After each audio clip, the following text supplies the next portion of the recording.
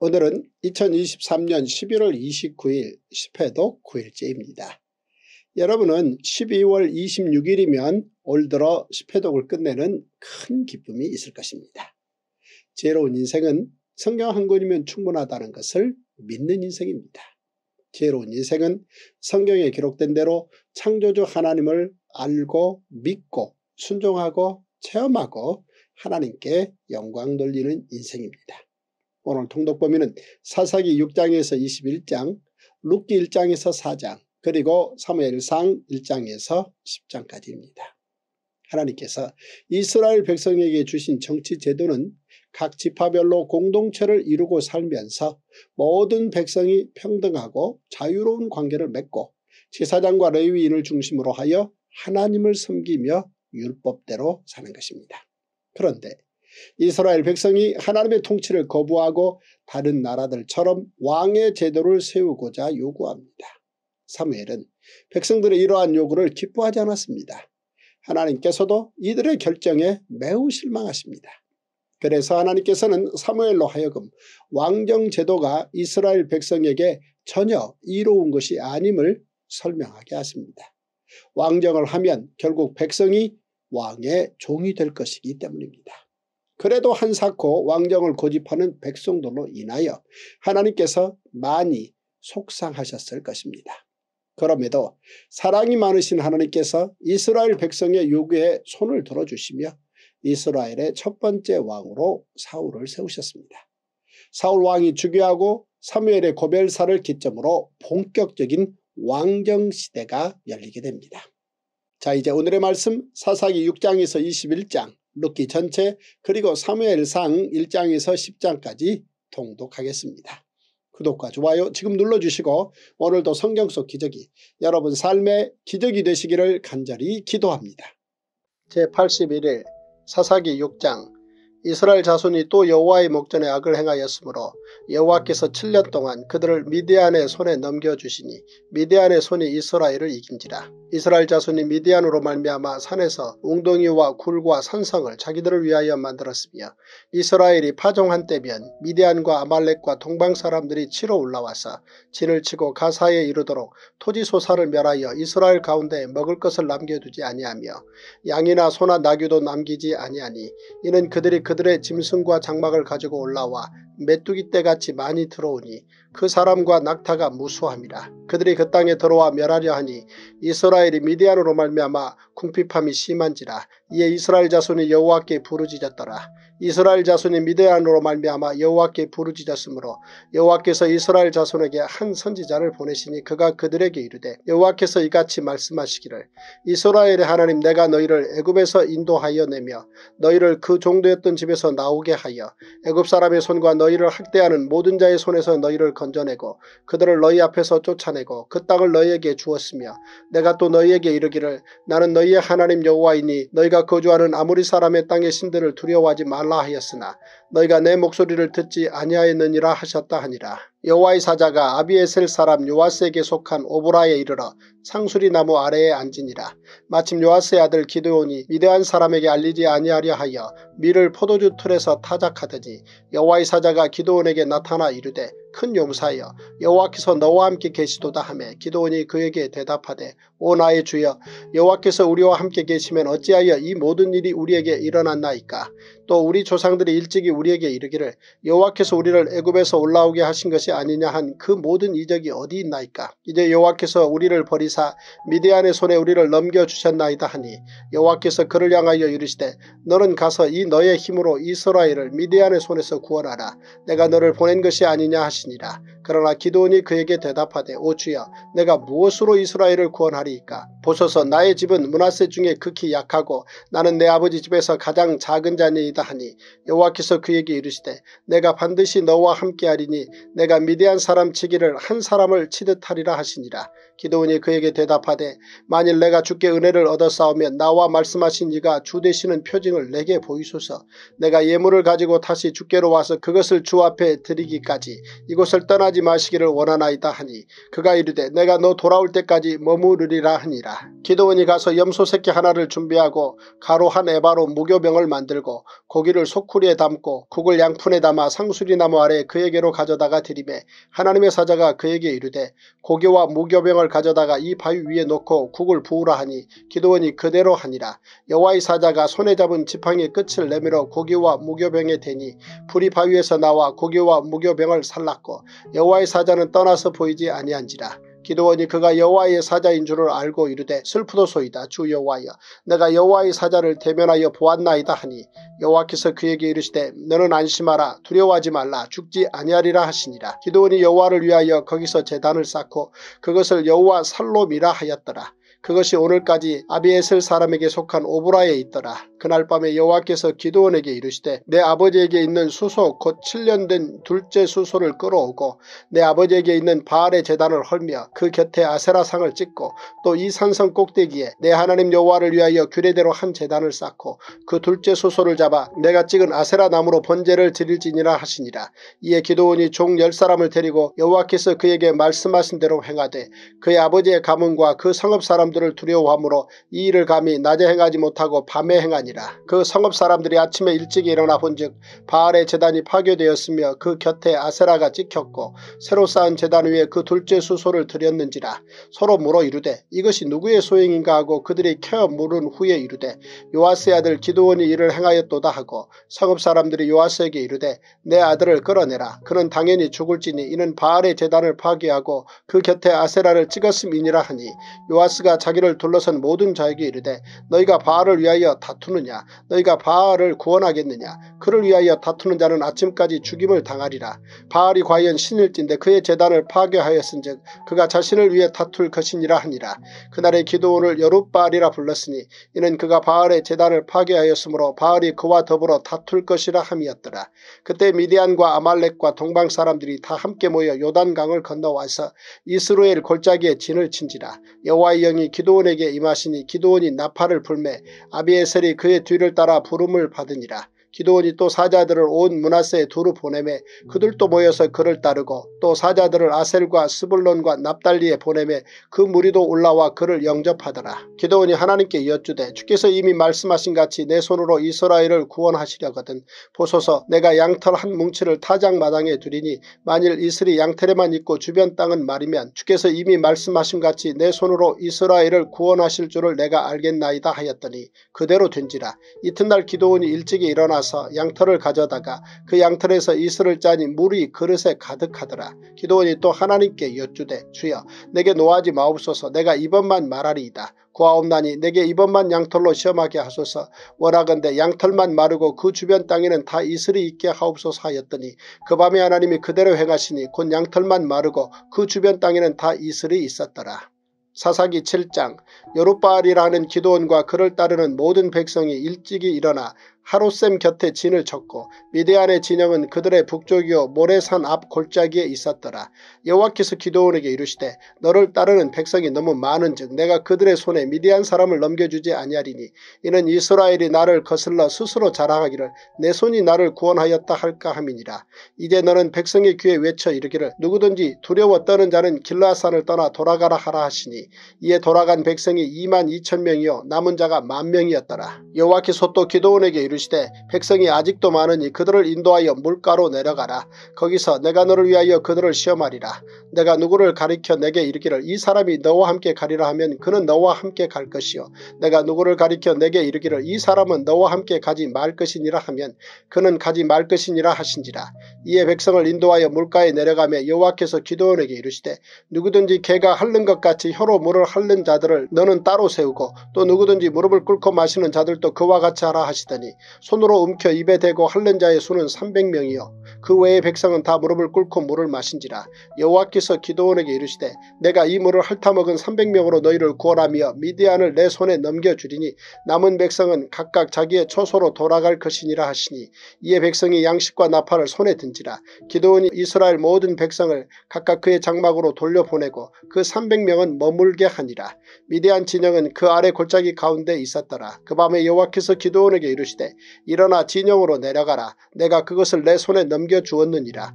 만일 내가 내려가기를 두려워하거든 내 부하 부라와 함께 그 진영으로 내려가서 그들이 하는 말을 들으라. 그 후에 내 손이 강하여져서 그 진영으로 내려가리라 하시니 기도원이 이에 그의 부하 부라와 함께 군대가 있는 진영 근처로 내려간 즉 미디안과 아말렉과 동방의 모든 사람들이 골짜기에 누웠는데 메뚜기의 많은 수와 같고 그들의 낙타의 수가 많아 해변에 모래가 많음 같은지라. 기도원이 그곳에 이른즉 어떤 사람이 그의 친구에게 꿈을 말하여 이르기를 보라 내가 한 꿈을 꾸었는데 꿈에 보리떡 한 덩어리가 미디안 진영으로 굴러들어와 한 장막에 이르러 그것을 쳐서 무너뜨려 위쪽으로 엎으니 그 장막이 쓰러지더라. 그의 친구가 대답하여 이르되 이는 다른 것이 아니라 이스라엘 사람 요아스의 아들 기도원의 칼이라.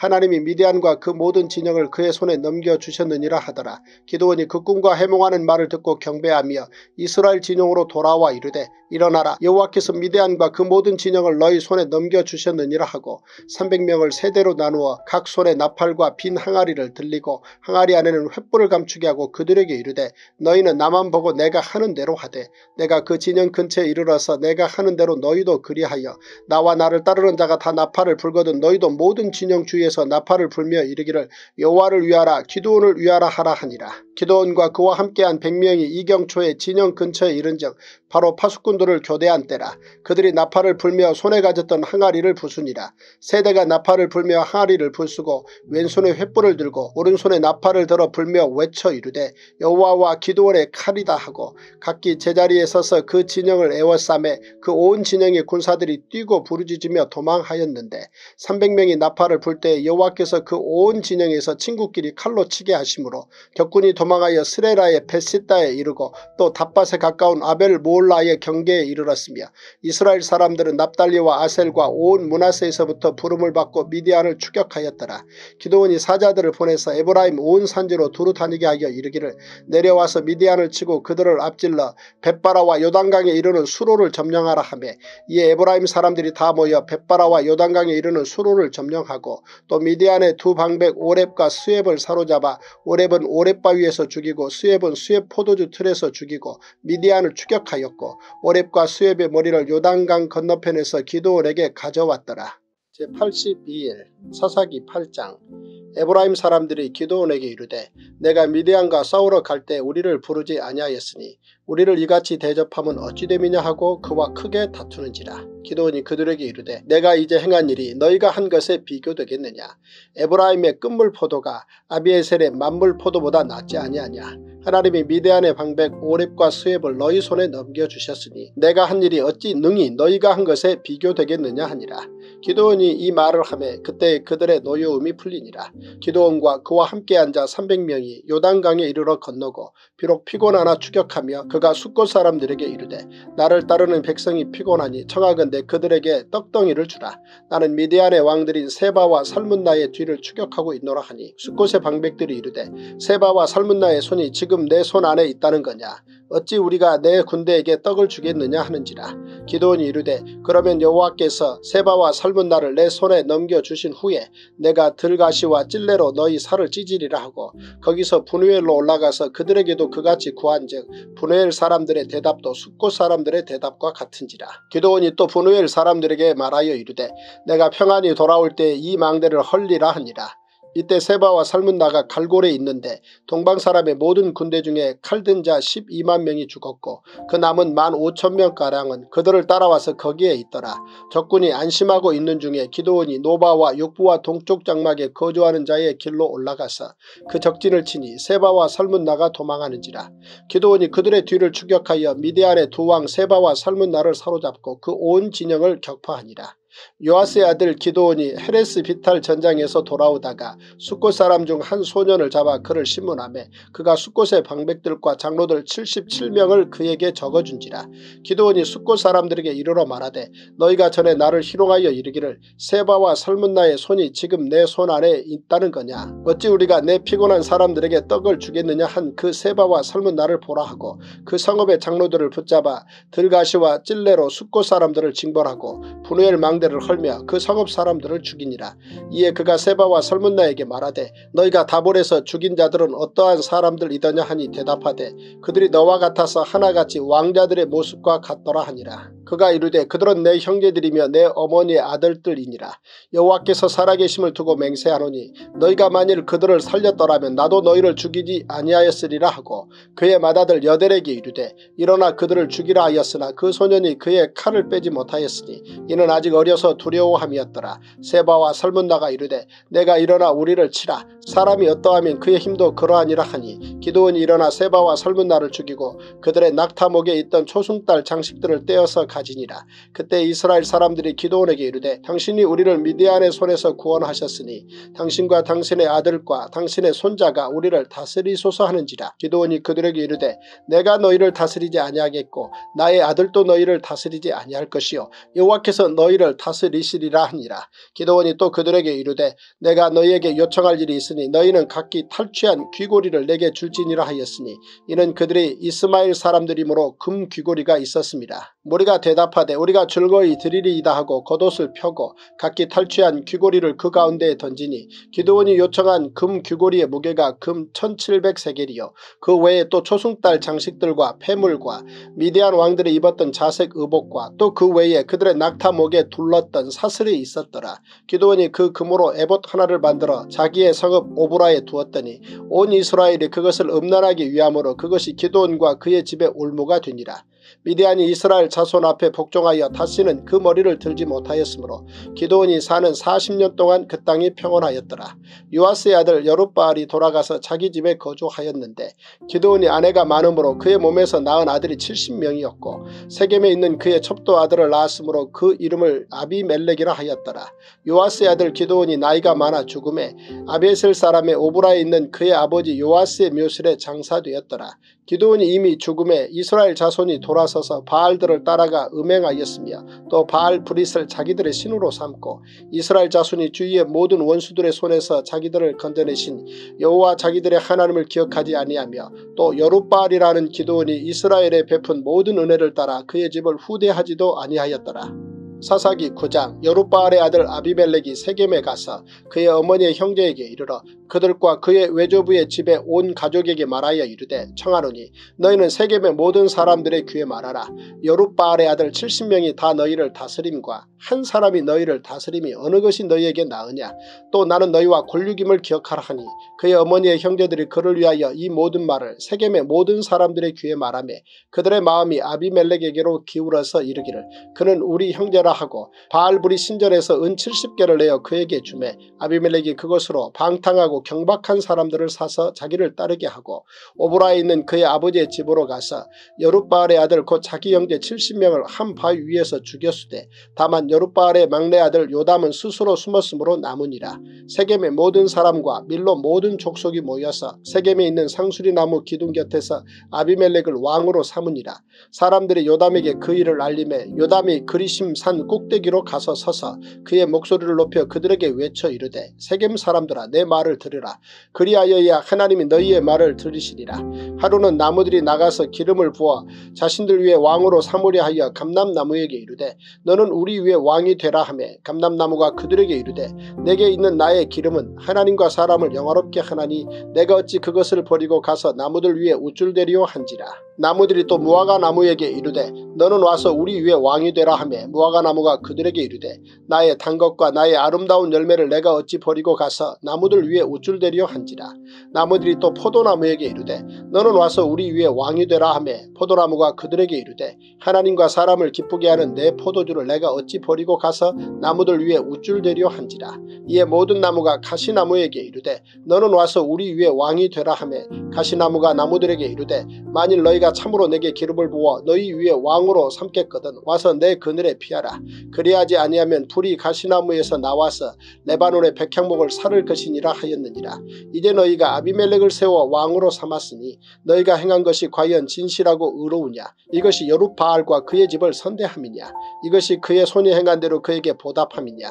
우리 아버지가 전에 죽음을 무릅쓰고 너희를 위하여 싸워 미디안의 손에서 너희를 건져냈거를 너희가 오늘 일어나 우리 아버지의 집을 쳐서 그의 아들 아들 70명을 한 바위 위에서 죽이고 그의 여종의 아들 아비멜렉이 너희 형제가 된다고 그를 세워 세겜 사람들 위에 왕으로 삼았도다. 만일 너희가 오늘 여룻바알과 그의 집을 대접한 것이 진실하고 의로운 일이면 너희가 아비멜렉으로 말미암아 기뻐할 것이요 아비멜렉도 너희로 말미암아 기뻐하려니와 그렇지 아니하면 아비멜렉에게서 불이 나와서 세겜 사람들과 밀로의 집을 살을 것이요 세겜 사람들과 밀로의 집에서도 불이 나와 아비멜렉을 살을 것이니라 하고 요담이 그의 형제 아비멜렉 앞에서 도망하여 피해서 부엘로 가서 거기에 거주하니라. 아비멜렉이 이스라엘을 다스린 지 3년에 하나님이 아비멜렉과 세겜 사람들 사이에 악한 영을 보내심에 세겜 사람들이 아비멜렉을 배반하였으니 이는 여룻바알의 아들 70명에게 저지른 포악한 일을 갚되 그들을 죽여 피 흘린 죄를 그들의 형제 아비멜렉과 아비멜렉의 손을 도와 그의 형제들을 죽이게 한 세겜 사람들에게로 돌아가게 하십니다. 세겜 사람들이 산들의 꼭대기에 사람을 매복시켜 아비멜렉을 엿보게 하고 그 길로 지나는 모든 자를 다 강탈하게 하니 어떤 사람이 그것을 아비멜렉에게 알리니라. 에베스의 아들 가알이 그의 형제와 더불어 세겜에 이르니 세겜 사람들이 그를 신뢰하니라. 그들이 밭에 가서 포도를 거두어다가 밟아 짜서 연회를 베풀고 그들의 신당에 들어가서 먹고 마시며 아비멜렉을 저주하니 에베스의 아들 가알이 이르되 아비멜렉은 누구며 세겜은 누구이기에 우리가 아비멜렉을 섬기리요. 그가 여룻바알의 아들이 아니냐. 그의 신복은 수불이 아니냐. 차라리 세겜의 아버지 하몰의 후손을 섬길 것이라. 우리가 어찌 아비멜렉을 섬기리요. 이 백성이 내 수하에 있었더라면 내가 아비멜렉을 제거하였으리라 하고 아비멜렉에게 이르되 내 군대를 증원해서 나오라 하니라. 그 성읍의 방백 수불이 에베세 아들 가알의 말을 듣고 노하여 사자들을 아비멜렉에게 가만히 보내어 이르되 보소서. 에베세 아들 가알과 그의 형제들이 세겜에 이르러 그 성읍이 당신을 대적하게 하니 당신은 당신과 함께 있는 백성과 더불어 밤에 일어나 밭에 매복하였다가 아침 해 뜰 때에 당신이 일찍 일어나 이 성읍을 엄습하면 가알 및 그와 함께 있는 백성이 나와서 당신을 대적하리니 당신은 기회를 보아 그에게 행하소서 하니 아비멜렉과 그와 함께 있는 모든 백성이 밤에 일어나 네 때로 나 누어 세겜에 맞서 매복하였더니 에베세 아들 가알이 나와서 성읍 문 입구에 설 때에 아비멜렉과 그와 함께 있는 백성이 매복하였던 곳에서 일어난지라 가알이 그 백성을 보고 수불에게 이르되 보라 백성이 산 꼭대기에서부터 내려오는도다 하니 수불이 그에게 이르되 내가 산 그림자를 사람으로 보았느니라 하는지라 가알이 다시 말하여 이르되 보라 백성이 밭 가운데를 따라 내려오고 또 한때는 무은느님 상수리 나무 길을 따라 오는도다 하니 수불이 그에게 이르되 내가 전에 말하기를 아비멜렉이 누구 이기에 우리가 그를 섬기리요 하던 그 입이 이제 어디 있느냐 이들이 내가 없인 여기던 그 백성이 아니냐 청하느니 이제 나가서 그들과 싸우라 하니 가알이 세겜 사람들보다 앞에 서서 나가 아비멜렉과 싸우다가 아비멜렉이 그를 추격하니 그 앞에서 도망하였고 부상하여 엎드러진 자가 많아 성문 입구까지 이르렀더라. 아비멜렉은 아루마에 거주하고 수불은 가알과 그의 형제들을 쫓아내어 세겜에 거주하지 못하게 하더니 이튿날 백성이 밭으로 나오매 사람들이 그것을 아비멜렉에게 알리니라. 아비멜렉이 자기 백성을 세 무리로 나누어 밭에 매복시켰더니 백성이 성에서 나오는 것을 보고 일어나 그들을 쥐되 아비멜렉과 그 때는 돌격하여 성문 입구에 서고 두 무리는 밭에 있는 자들에게 돌격하여 그들을 죽이니 아비멜렉이 그날 종일토록 그 성을 쳐서 마침내는 점령하고 거기 있는 백성을 죽이며 그 성을 헐고 소금을 뿌리니라.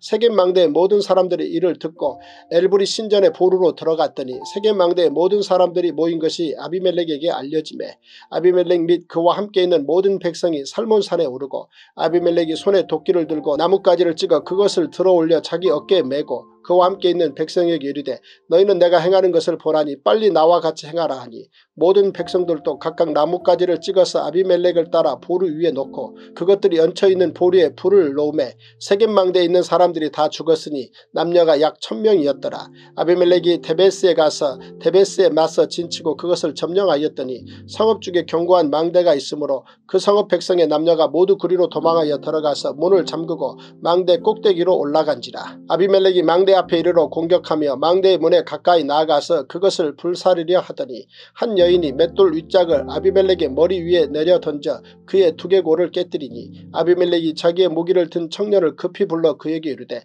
너는 칼을 빼어 나를 죽이라. 사람들이 나를 가리켜 이르기를 여자가 그를 죽였다 할까 하노라 하니 그 청년이 그를 찌르며 그가 죽은지라. 이스라엘 사람들이 아비멜렉이 죽은 것을 보고 각각 자기 초소로 떠나갔더라. 아비멜렉이 그의 형제 70명을 죽여 자기 아버지에게 행한 악행을 하나님이 이같이 갚으셨고 또 세겜 사람들의 모든 악행을 하나님이 그들의 머리 에 갚으셨으니 여룻바알의 아들 요담의 저주가 그들에게 응하니라. 제83일 사사기 10장 아비멜렉의 뒤를 이어서 이사갈 사람 도도의 손자 부하의 아들 돌라가 일어나서 이스라엘을 구원하니라. 그가 에브라임 산지 3일에 거주하면서 이스라엘의 사사가 된 지 23년 만에 죽음에 3일에 장사되었더라.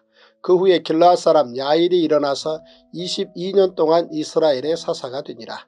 그에게 아들 30명이 있어 어린 낙이 30을 탔고 성읍 30을 가졌는데 그 성읍들은 길라앗 땅에 있고 오늘까지 하봇 야일이라 부르더라. 야일이 죽음에 가몬에 장사되었더라. 이스라엘 자손이 다시 여호와의 목전에 악을 행하여 바알들과 아스타롯과 아람의 신들과 시돈의 신들과 모압의 신들과 암몬 자손의 신들과 블레셋 사람들의 신들을 섬기고 여호와를 버리고 그를 섬기지 아니하므로 여호와께서 이스라엘에게 진노하사 블레셋 사람들의 손과 암몬 자손의 손에 그들을 파심해 그 해에 그들의 요단강 저쪽 길라앗에 있는 아모리 족속의 땅에 있는 모든 이스라엘 자손을 쳤으며 18해 동안 억압하였더라. 암몬 자손이 또 요단을 건너서 유다와 베냐민과 에브라임 족속과 싸움으로 이스라엘의 공고가 심하였더라. 이스라엘 자손이 여호와께 부르짖어 이르되 우리가 우리 하나님을 버리고 바알들을 섬김으로 주께 범죄하였나이다 하니 여호와께서 이스라엘 자손에게 이르시되 내가 애굽 사람과 아모리 사람과 암몬 자손과 블레셋 사람에게서 너희를 구원하지 아니하였느냐? 또 시돈 사람과 아말렉 사람과 마온 사람이 너희를 압제할 때 너희가 내게 부르짖으므로 내가 너희를 그들의 손에서 구원하였거늘 너희가 나를 버리고 다른 신들을 섬기니 그러므로 내가 다시는 너희를 구원하지 아니하리라. 가서 너희가 택한 신들에게 부르짖어 너희의 환란 때에 그들이 너희를 구원하게 하라 하신지라. 이스라엘 자손이 여호와께 여쭈되 우리가 범죄하여 싸우니 주께서 보시기에 좋은 대로 우리에게 행하시려니와 오직 주께 구하옵나니 오늘 우리를 건져내옵소서 하고 자기 가운데에서 이방신들을 제하여 버리고 여호와를 섬김에 여호와께서 이스라엘의 권고로 말미암아 마음에 근심하시니라. 그때 암몬 자손이 모여서 길라앗의 진을 쳤으므로 이스라엘 자손도 모여서 미스바의 진을 치고 길라앗 백성과 방백들이 서로 이르되 누가 먼저 나가서 암몬 자손과 싸움을 시작하랴 그가 길라앗 모든 주민의 머리가 되리라 하니라.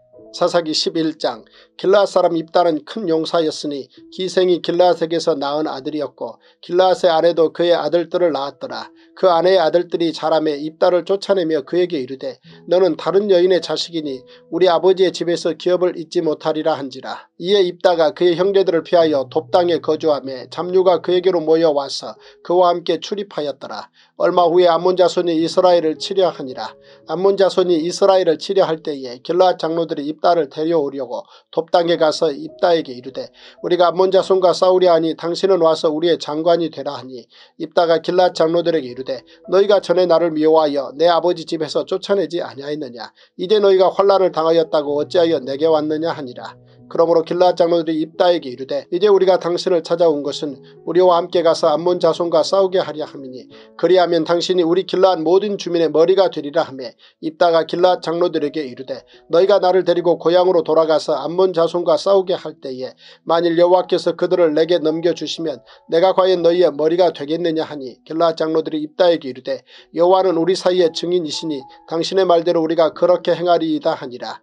이에 입다가 길라앗 장로들과 함께 가니 백성이 그를 자기들의 머리와 장관을 삼은지라 입다가 미스바에서 자기의 말을 다 여호와 앞에 아뢰니라. 입다가 암몬 자손의 왕에게 사자들을 보내 이르되 내가 나와 무슨 상관이 있기에 내 땅을 치러 내게 왔느냐 하니 암몬 자손의 왕이 입다의 사자들에게 대답하되 이스라엘이 애굽에서 올라올 때에 아르논에서부터 야복과 요단까지 내 땅을 점령했기 때문이니 이제 그것을 평화롭게 돌려달라 하니라. 입다가 암몬 자손의 왕에게 다시 사자들을 보내 그에게 이르되 입다가 이같이 말하노라. 이스라엘이 모압 땅과 암몬 자손의 땅을 점령하지 아니하였느니라. 이스라엘이 애굽에서 올라올 때에 광야로 행하여 홍해에 이르고 가데스에 이르러서는 이스라엘이 사자들을 에돔 왕에게 보내어 이르기를 청하건대 나를 내 땅 가운데로 지나게 하라 하였으나 에돔 왕이 이를 듣지 아니하였고 또 그와 같이 사람을 모압 왕에게도 보냈으나 그도 허락하지 아니하므로 이스라엘이 가데스에 머물렀더니 그 후에 광야를 지나 에돔 땅과 모압 땅을 돌아서 모압 땅에 해뜨는 쪽으로 들어가 아르논 저쪽에 진쳤고 아르논은 모압의 경계이므로 모압 지역 안에는 들어가지 아니하였으며 이스라엘이 헤스본 왕 곧 아모리 족속의 왕 시온에게 사자들을 보내어 그에게 이르되 청하건대 우리를 당신의 땅으로 지나 우리의 곳에 이르게 하라 하였으나 시온이 이스라엘을 믿지 아니하여 그의 지역으로 지나지 못하게 할 뿐 아니라 그의 모든 백성을 모아 야하스에 진치고 이스라엘을 치므로 이스라엘의 하나님 여호와께서 시온과 그의 모든 백성을 이스라엘의 손에 넘겨주심에 이스라엘이 그들을 쳐서 그 땅 주민 아모리 족속의 온 땅을 점령하되 아르논에서부터 야포까지와 광야에서부터 요단까지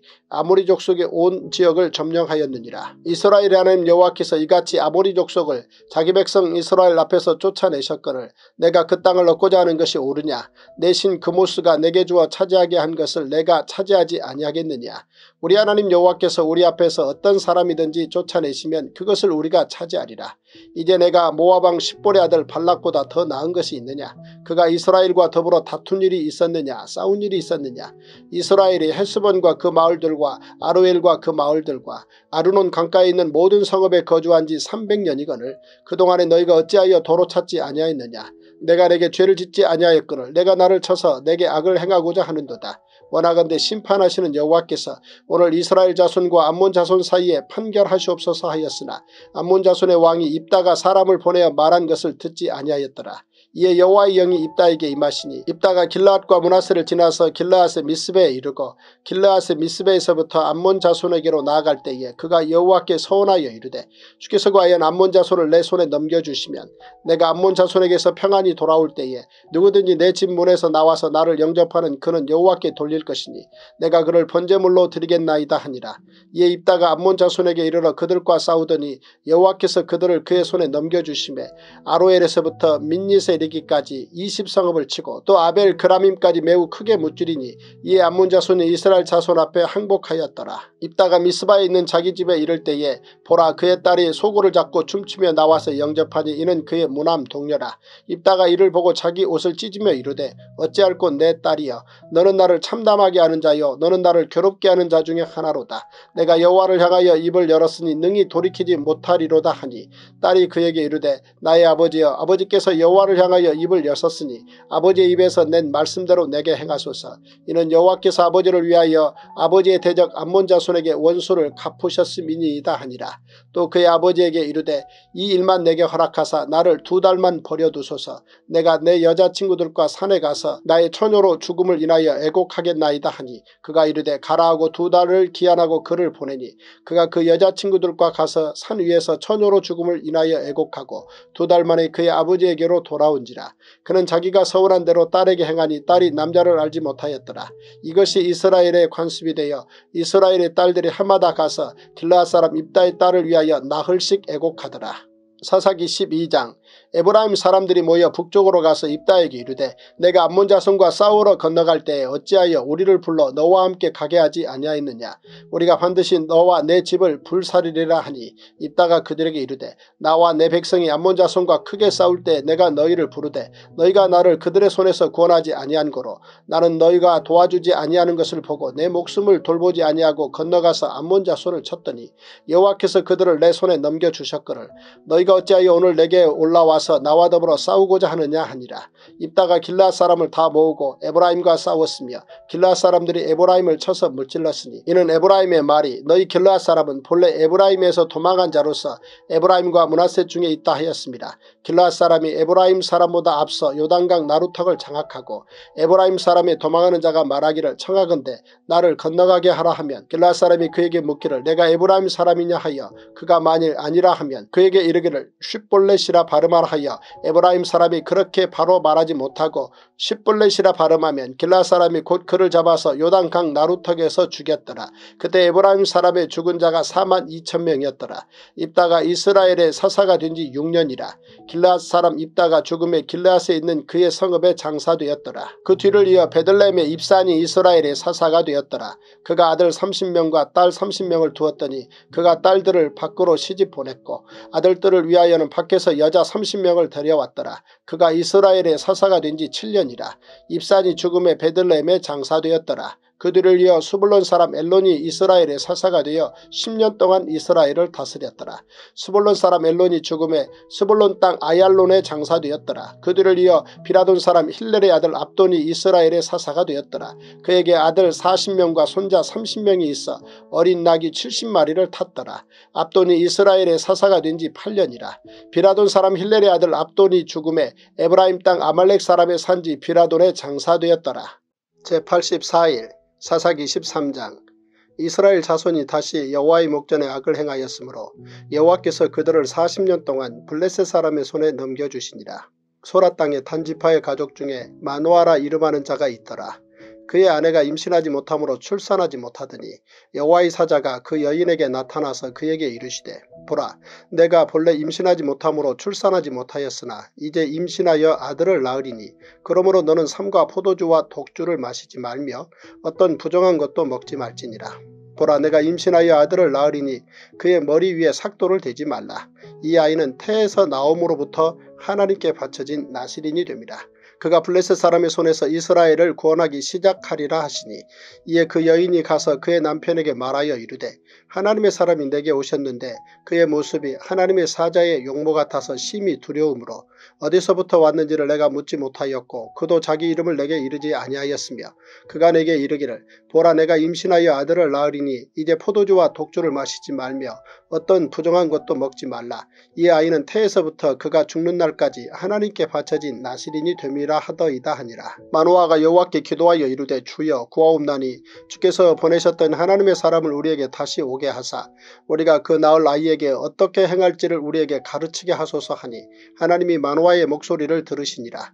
여인이 밭에 앉았을 때에 하나님의 사자가 다시 그에게 임하였으나 그의 남편 마노아는 함께 있지 아니한지라. 여인이 급히 달려가서 그의 남편에게 알리어 이르되 보소서 전일에 내게 오셨던 그 사람이 내게 나타났나이다 하매 마노아가 일어나 아내를 따라가서 그 사람에게 이르러 그에게 묻되 당신이 이 여인에게 말씀하신 그 사람이니까 하니 이르되 내가 그로다 하니라 마노아가 이르되 이제 당신의 말씀대로 되기를 원하나이다. 이 아이를 어떻게 기 르며 우리가 그에게 어떻게 행하리이까 여호와의 사자가 마노아에게 이르되 내가 여인에게 말한 것들을 그가 다 삼가서 포도나무의 소산을 먹지 말며 포도주와 독주를 마시지 말며 어떤 부정한 것도 먹지 말고 내가 그에게 명령한 것은 다 지킬 것이니라 하니라.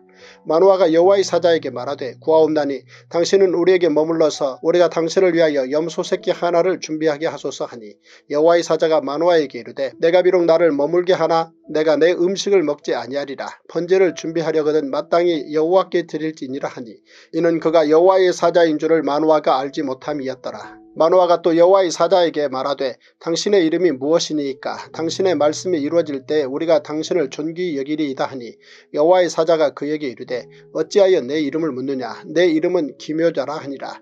이에 마노아가 염소 새끼와 소재물을 가져다가 바위 위에서 여호와께 드림에 이적이 일어난지라 마노아와 그의 아내가 본즉 불꽃이 재단에서부터 하늘로 올라가는 동시에 여호와의 사자가 재단 불꽃에 휩싸여 올라간지라. 마노아와 그의 아내가 그것을 보고 그들의 얼굴을 땅에 대고 엎드리니라. 여호와의 사자가 마노아와 그의 아내에게 다시 나타나지 아니하니 마노아가 그제야 그가 여호와의 사자인 줄 알고 그의 아내에게 이르되 우리가 하나님을 보았으니 반드시 죽으리로다 하니 그의 아내가 그에게 이르되 여호와께서 우리를 죽이려 하셨더라면 우리 손에서 번제와 소제를 받지 아니하셨을 것이요 이 모든 일을 보이지 아니하셨을 것이며 이제 이런 말씀도 우리에게 이르지 아니하셨으리이다 하였더라. 그 여인이 아들을 낳음에 그의 이름을 삼손이라 하니라. 그 아이가 자라매 여호와께서 그에게 복을 주시더니 소라와 에스다울 사이 마하네단에서 여호와의 영이 그를 움직이기 시작하셨더라.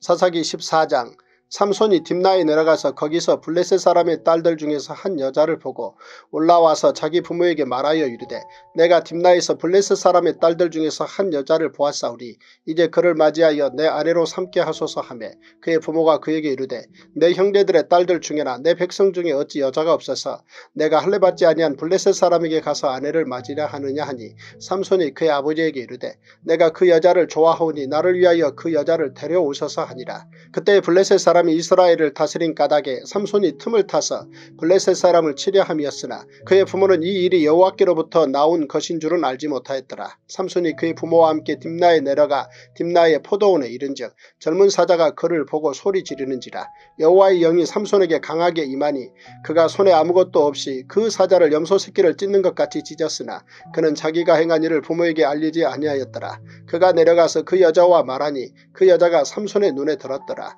얼마 후에 후에 삼손이 그 여자를 맞이하려고 다시 가다가 돌이켜 그 사자의 죽음을 본즉 사자의 몸에 벌떼와 꿀이 있는지라 손으로 그 꿀을 떠서 걸어가며 먹고 그의 부모에게 이르러 그들에게 그것을 들여서 먹게 하였으나 그 꿀을 사자의 몸에서 떠왔다고는 알리지 아니하였더라. 삼손의 아버지가 여자에게로 내려가며 삼손이 거기서 잔치를 베풀었으니 청년들은 이렇게 행하는 풍속이 있음이더라.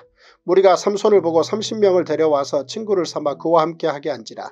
삼손이 그들에게 이르되 이제 내가 너희에게 수수께끼를 내리니 잔치하는 이래 동안에 너희가 그것을 풀어 내게 말하면 내가 배우 30벌과 겉옷 30벌을 너희에게 주리라. 그러나 그것을 능히 내게 말하지 못하면 너희가 내게 배우 30벌과 겉옷 30벌을 줄지니라 하니 그들이 이르되 내가 수수께끼를 내면 우리가 그것을 드리리라 하며 삼손이 그들에게 이르되 먹는 자에게서 먹는 것이 나오고 강한 자에게서 단 것이 나왔느니라 하니라.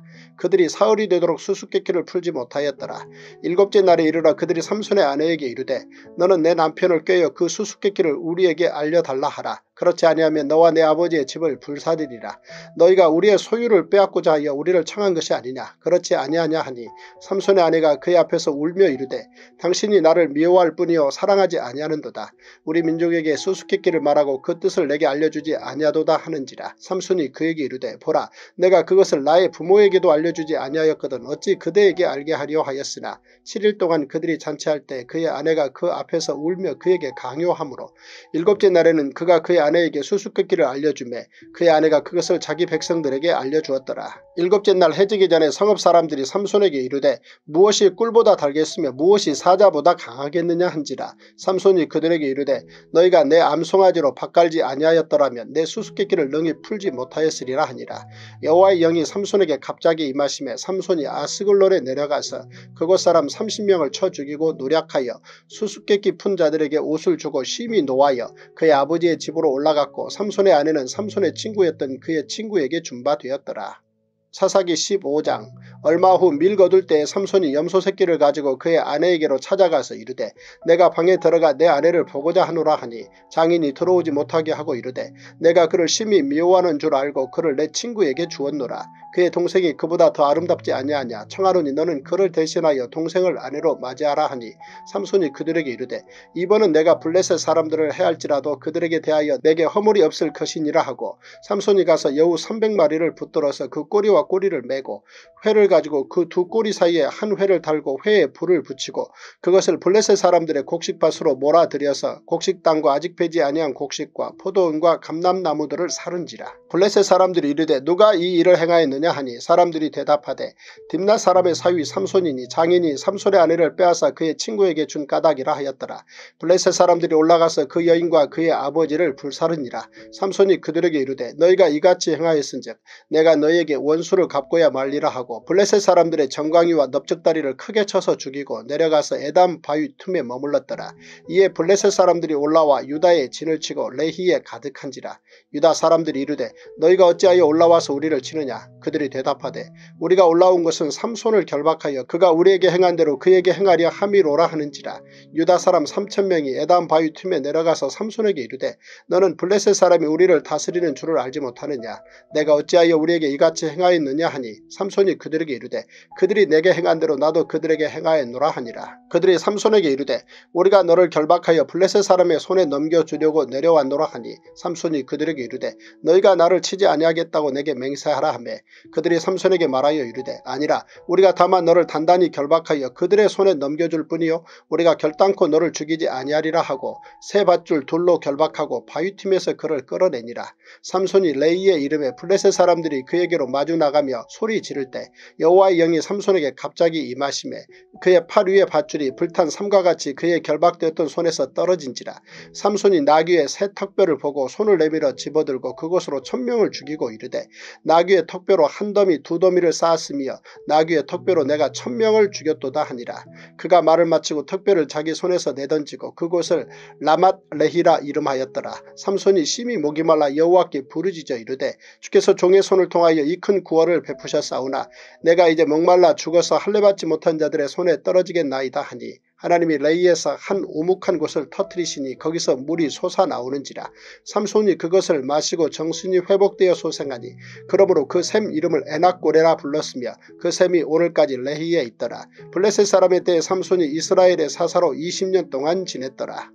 사사기 16장 삼손이 가사에 가서 거기서 한 기생을 보고 그에게로 들어갔더니 가사 사람들에게 삼손이 왔다고 알려지매 그들이 곧 그를 애워싸고 밤새도록 성문에 매복하고 밤새도록 조용히 하며 이르기를 새벽이 되거든 그를 죽이리라 하였더라. 삼손이 밤중까지 누워있다가 그 밤중에 일어나 성문짝들과 두 문설주와 문빗장을 빼어가지고 그것을 모두 어깨에 메고 헤보론 앞산 꼭대기로 가니라. 이후에 삼손이 소래골짜기에 들릴라라 이름하는 여인을 사랑하며 블레셋 사람의 방백들이 그 여인에게로 올라가서 그에게 이르되 삼손을 꿰어서 무엇으로 말미암아 그 큰 힘이 생기는지 그리고 우리가 어떻게 하면 능히 그를 결박하여 굴복하게 할 수 있을는지 알아보라. 그리하면 우리가 각각 은 천백 개씩을 내게 주리라 하니 들릴라가 삼손에게 말하되 청하건대 당신의 큰 힘이 무엇으로 말미암아 생기며 어떻게 하면 능히 당신을 결박하여 굴복하게 할 수 있을는지 내게 말하라 하니 삼손이 그에게 이르되 만일 마르지 아니한 새 활줄 일곱으로 나를 결박하면 내가 약해져서 다른 사람과 같으리라. 블레셋 사람의 방백들이 마르지 아니한 새 활줄 일곱을 여인에게로 가져오매 그가 그것으로 삼손을 결박하고 이미 사람을 방 안에 매복시켰으므로 삼손에게 말하되 삼손이여 블레셋 사람들이 당신에게 들이 닥쳤느니라 하니 삼손이 그 줄들을 끊기를 불탄 삼시를 끄는 같이 하였고 그의 힘의 근원은 알아내지 못하니라. 들릴라가 삼손에게 이르되 보라 당신이 나를 희롱하여 내게 거짓말을 하였도다. 청하건대 무엇으로 당신을 결박할 수 있을는지 이제는 내게 말하라 하니 삼손이 그에게 이르되 만일 쓰지 아니한 새 밧줄들로 나를 결박하면 내가 약해져서 다른 사람과 같으리라 하니라. 들릴라가 새 밧줄들을 가져다가 그것들로 그를 결박하고 그에게 이르되 삼손이여 블레셋 사람이 당신에게 들이닥쳤느니라 하니 삼손이 팔 위에 줄 끊기를 실을 끊음같이 하였고 그때에도 사람이 방 안에 매복하였더라. 들릴라가 삼손에게 이르되 당신이 이때까지 나를 희롱하여 내게 거짓말을 하였도다. 내가 무엇으로 당신을 결박할 수 있을는지 내게 말하라 하니 삼손이 그에게 이르되 그대가 만일 나의 머리털 일곱 가닥을 배틀에 날실에 섞어 짜면 되리라 하는지라. 들릴라가 바대로 그 머리털을 단단히 짜고 그에게 이르되 삼손이여 블레셋 사람들이 당신에게 들이닥쳤느니라 하니 삼손이 잠을 깨어 배틀의 바디와 날씨를 다 빼내니라. 들릴라가 삼손에게 이르되 당신의 마음이 내게 있지 아니하면서 당신이 어찌 나를 사랑한다 하느냐. 당신이 이로써 세 번이나 나를 희롱하고 당신의 큰 힘이 무엇으로 말미암아 생기는지를 내게 말하지 아니하였도다 하며 날마다 그 말로 그를 재촉하여 조름에 삼손의 마음이 번뇌하여 죽을 지경이라. 삼손이 진심을 드러내어 그에게 이르되 내 머리 위에는 삭도를 대지 아니하였나니 이는 내가 모태에서부터 하나님의 나시린이 되었습니다. 만일 내 머리가 밀리면 내 힘이 내게서 떠나고 나는 약해져서 다른 사람과 같으리라 하니라. 들릴라가 삼손이 진심을 다 알려주므로 사람을 보내어 블레셋 사람들의 방백들을 불러 이르되 삼손이 내게 진심을 알려주었으니 이제 한 번만 올라오라 하니 블레셋 방백들이 손에 은을 가지고 그 여인에게로 올라오니라. 들릴라가 삼손에게 자기 무릎을 베고 자게 하고 사람을 불러 그의 머리털 일곱 가닥을 밀고 괴롭게 하여 본즉 그의 힘이 없어졌더라. 들릴라가 이르되 삼손이여 블레셋 사람이 당신에게 들이닥쳤느니라 하니 삼손이 잠을 깨며 이르기를 내가 전과 같이 나가서 몸을 떨치리라 하였으나 여호와께서 이미 자기를 떠나신 줄을 깨닫지 못하였더라. 블레셋 사람들이 그를 붙잡아 그의 눈을 빼고 끌고 가사에 내려가 노줄로 매고 그에게 옥에서 맷돌을 돌리게 하였더라. 그의 머리털이 밀린 후에 다시 자라기 시작하니라. 블레셋 사람의 방백들이 이르되 우리의 신이 우리 원수 삼손을 우리 손에 넘겨주었다 하고 다 모여 그들의 신 다곤에게 큰 제사를 드리고 즐거워하고 백성들도 삼손을 보았으므로 이르되 우리의 땅을 망쳐놓고 우리의 많은 사람을 죽인 원수를 우리의 신이 우리 손에 넘겨주었다 하고 자기들의 신을 찬양하며 그들의 마음이 즐거울 때에 이르되 삼손을 불러다가 우리를 위하여 제주를 부리게 하자 하고 옥에서 삼손을 불러내매 삼손이 그들을 위하여 제주를 부리니라. 그들이 삼손을 두 기둥 사이에 세웠더니 삼손이 자기 손을 붙든 소년에게 이르되 나에게 이 집을 버틴 기둥을 찾아 그것을 의지하게 하라 하니라. 그 집에는 남녀가 가득하니 블레셋 모든 방백들도 거기에 있고 지붕에 있는 남녀도 3천명가량이라. 다 삼손이 제주 부리는 것을 보더라. 삼손이 여호와께 부르짖어 이르되 주 여호와여 구하옵나니 나를 생각하옵소서. 하나님이여 구하옵나니 이번만 나를 강하게 하사 나의 두 눈을 뺀 블레셋 사람에게 원수를 단번에 갚게 하옵소서 하고 삼손이 집을 버틴 두 기둥 가운데 하나는 왼손으로 하나는 오른손으로 껴 의지하 하고 삼손이 이르되 블레셋 사람과 함께 죽기를 원하노라 하고 힘을 다하여 몸을 굽히매 그 집이 곧 무너져 그 안에 있는 모든 방백들과 온 백성에게 덮이니 삼손이 죽을 때에 죽인 자가 살았을 때에 죽인 자보다 더욱 많았더라. 그의 형제와 아버지의 온 집이 다 내려가서 그의 시체를 가지고 올라가서 소라와 에스다울 사이 그의 아버지 마노아의 장지에 장사하니라. 삼손이 이스라엘의 사사로 20년 동안 지냈더라. 제85일 사사기 17장 에브라임 산지에 미가라 이름하는 사람이 있더니 그의 어머니에게 이르되 어머니께서 은 천백을 잃어버리셨으므로 저주하시고 내 귀에도 말씀하셨더니 보소서 그 은이 내게 있나이다. 내가 그것을 가졌나이다 하니 그의 어머니가 이르되 내 아들이 여호와께 복받기를 원하노라 하니라. 미가가 은 천백을 그의 어머니에게 도로 주매 그의 어머니가 이르되 내가 내 아들을 위하여 한 신상을 새기며 한 신상을 부어 만들기 위해 내 손에서 이 은을 여호와께 거룩히 드리노라. 그러므로 내가 이제 이 은을 내게 도로 주리라. 미가가 그 은을 그의 어머니에게 도로 주었으므로 가 그 은 200을 가져다 은장색에게 주어 한 신상을 새기고 한 신상을 부어 만들었더니 그 신상이 미가의 집에 있더라. 그 사람 미가에게 신당이 있으므로 그가 에복과 드라빔을 만들고 한 아들을 세워 그의 제사장으로 삼았더라. 그때에는 이스라엘에 왕이 없었으므로 사람마다 자기 소견에 오른 대로 행하였더라. 유다 가족에 속한 유다 베들레헴에 한 청년이 있었으니 그는 레위인으로서 거기서 거류하였더라. 그 사람이 거주할 곳을 찾고자 하여 그 성읍 유다 베들레헴을 떠나가다가 에브라임 산지로 가서 미가의 집에 이름에 미가가 그에게 묻되 너는 어디서부터 오느냐 하니 그가 이르되 나는 유다 베들레헴의 레위인으로서 거류할 곳을 찾으러 가노라 하는지라. 미가가 그에게 이르되 내가 나와 함께 거주하며 나를 위하여 아버지와 제사장이 되라. 내가 해마다 은열과 의복 한 벌과 먹을 것을 주리라 하므로 그 레위인이 들어갔더라. 그 레위인이 그 사람과 함께 거주하기를 만족하게 생각했으니 이는 그 청년이 미가의 아들 중 하나 같이 됨이라. 미가가 그 레위인을 거룩하게 구별 하며 그 청년이 미가의 제사장이 되어 그 집에 있었더라 이에 미가가 이르되 레위인이 내 제사장이 되었으니 이제 여호와께서 내게 복 주실 줄을 아노라 하니라.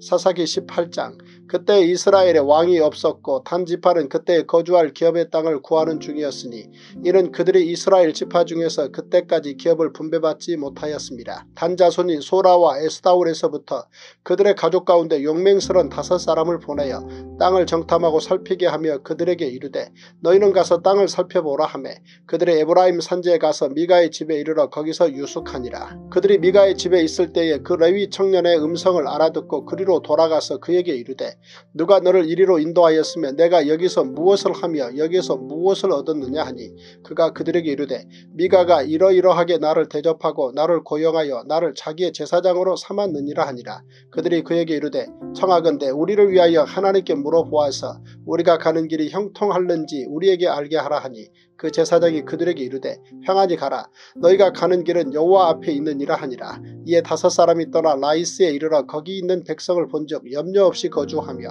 시돈 사람들이 사는 것처럼 평온하며 안전하니 그 땅에는 부족한 것이 없으며 부를 누리며 시돈 사람들과 거리가 멀고 어떤 사람과도 상종하지 아니함이라. 그들이 소라와 에스다울에 돌아가서 그들의 형제들에게 이르매 형제들이 그들에게 묻되 너희가 보기에 어떠하더냐? 하니 이르되 일어나 그들을 치러 올라가자. 우리가 그 땅을 본즉 매우 좋더라. 너희는 가만히 있느냐 나아가서 그 땅 얻기를 게을리하지 말라. 너희가 가면 평화로운 백성을 만날 것이요 그 땅은 넓고 그곳에는 세상에 있는 것이 하나도 부족함이 없느니라. 하나님이 그 땅을 너희 손에 넘겨주셨느니라 하는지라. 단지파의 가족 중 600명이 무기를 지니고 소라와 에스다울에서 출발하여 올라가서 유다에 있는 기럇여아림에 진치니 그러므로 그곳 이름이 오늘까지 마하네 단이며 그곳은 기럇여아림 뒤에 있더라. 무리가 거기서 떠나 에브라임 산지 미가의 집에 이르니라. 전에 라이스 땅을 정탐하러 갔던 다섯 사람이 그 형제들에게 말하여 이르되 이 집에 에봇과 드라빔과 새긴 신상과 부어 만든 신상이 있는 줄을 너희가 아느냐. 그런즉 이제 너희는 마땅히 행할 것을 생각하라 하고 다섯 사람이 그쪽으로 향하여 그 청년 레위 사람의 집 곧 미가의 집에 이르러 그에게 문안하고 단 자손 600명은 무기를 지니고 문 입구에 서 니라. 그 땅을 정탐하러 갔던 다섯 사람이 그리로 들어가서 새긴 신상과 에봇과 드라빔과 부어 만든 신상을 가져갈 때에 그 제사장은 무기를 지닌 600명과 함께 문 입구에 섰더니 그 다섯 사람이 미가의 집에 들어가서 그 새긴 신상과 에봇과 드라빔과 부어 만든 신상을 가지고 나오매 그 제사장이 그들에게 묻되 너희가 무엇을 하느냐 하니 그들이 그에게 이르되 잠잡아라 내 손을 입에 대라 우리와 함께 가서 우리의 아버지와 제사장이 되라 내가 한 사람의 집에 제사장이 되는 것과 이스라엘의 한 지파 한 족속의 제사장이 되는 것 중에서 어느 것이 낫겠느냐 하는지라 그 제사장이 마음에 기뻐하여 에복과 드라빔과 새긴 우상을 받아가지고 그 백성 가운데로 들어가니라. 그들이 돌이켜서 어린 아이들과 가축과 값진 물건들을 앞세우고 길을 떠나더니 그들이 미가의 집을 멀리 떠난 때 미가의 이웃집 사람들이 모여서 단 자손을 따라 붙어서 단 자손을 부르는지라 그들이 얼굴을 돌려 미가에게 이르되 네가 무슨 일로 이같이 모아 가지고 왔느냐 하니 미가가 이르되 내가 만든 신들과 제사장을 빼앗아 갔으니 이제 내게 오히려 남은 것이 무엇이냐? 너희가 어찌하여 나더러 무슨 일이냐고 하느냐 하는지라 단 자손이 그에게 이르되 네 목소리를 우리에게 들리게 하지 말라 노한 자들이 너희를 쳐서 네 생명과 네 가족의 생명을 잃게 할까 하노라 하고 단 자손이 자기 길을 간지라 미가가 단 자손이 자기보다 강한 것을 보고 돌이켜 집으로 돌아갔더라. 단자손이 미가가 만든 것과 그 제사장을 취하여 라이스에 이르러 한가하고 걱정 없이 사는 백성을 만나 칼날로 그들을 치며 그 성읍을 불사르되 그들을 구원할 자가 없었으니 그 성읍이 베드로 가까운 골짜기에 있어서 시돈과 거리가 멀고 상종하는 사람도 없음이었더라. 단자손이 성읍을 세우고 거기 거주하면서 이스라엘에게서 태어난 그들의 조상 단의 이름을 따라 그 성읍을 단이라 하니라. 그 성읍의 본 이름은 라이스였더라.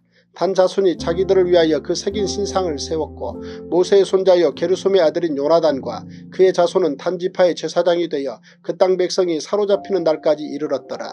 하나님의 집이 실로에 있을 동안에 미가가 만든 바 새긴 신상이 단 자손에게 있었더라. 제86일 사사기 19장 이스라엘의 왕이 없을 그때에 에브라임 산지 구석에 거류하는 어떤 레위 사람이 유다 베들레헴에서 첩을 맞이하였더니 그 첩이 행음하고 남편을 떠나 유다 베들레헴 그의 아버지의 집에 돌아가서 거기서 넉 달 동안을 지내매 그의 남편이 그 여자에게 다정하게 말하고 그를 데려오고자 하여 하인 한 사람과 나귀 두 마리를 데리고 그에게로 가매 여자가 그를 인도하여 아버지의 집에 들어가니 그 여자의 아버지가 그를 보고 기뻐하니라. 그의 장인 곧 그 여자의 아버지가 그를 머물게 하매 그가 3일 동안 그와 함께 머물며 먹고 마시며 거기서 유숙하다가 넷째 날 아침에 일찍이 일어나 떠나고자 하매 그 여자의 아버지가 그의 사위에게 이르되 떡을 조금 먹고 그대의 기력을 돋은 후에 그대의 길을 가라 하니라. 두 사람이 앉아서 함께 먹고 마시매 그 여자의 아버지가 그 사람에게 이르되 청하노니 이 밤을 여기서 유숙하여 그대의 마음을 즐겁게 하라 하니 그 사람이 일어나서 가고자 하되 그의 장인의 간청으로 거기서 다시 유숙하더니 다섯째 날 아침에 일찍 일어나 떠나고자 하매 그 여자의 아버지가 이르되 청하노니 그대의 기력을 돋우고 해가 기울도록 머물라 하므로 두 사람이 함께 먹고 그 사람이 첩과 하인과 더불어 일어나 떠나고자 하매 그의 장인 곧 그 여자의 아버지가 그에게 이르되 보라 이제 날이 저물어 가니 청하건대 이 밤도 유숙하라. 보라 해가 기울었느니라. 그들은 여기서 유숙하여 그대의 마음을 즐겁게 하고 내일 일찍이 그대의 길을 가서 그대의 집으로 돌아가라 하니 그 사람이 다시 밤을 지내고자 하지 아니하여 일어나서 떠나 여부스 맞은편에 이르렀으니 여부스는 곧 예루살렘이라. 안장 지운 낙이 두 마리와 첩이 그와 함께 하였더라. 그들이 여부스에 가까이 갔을 때 해가 지려 하는지라.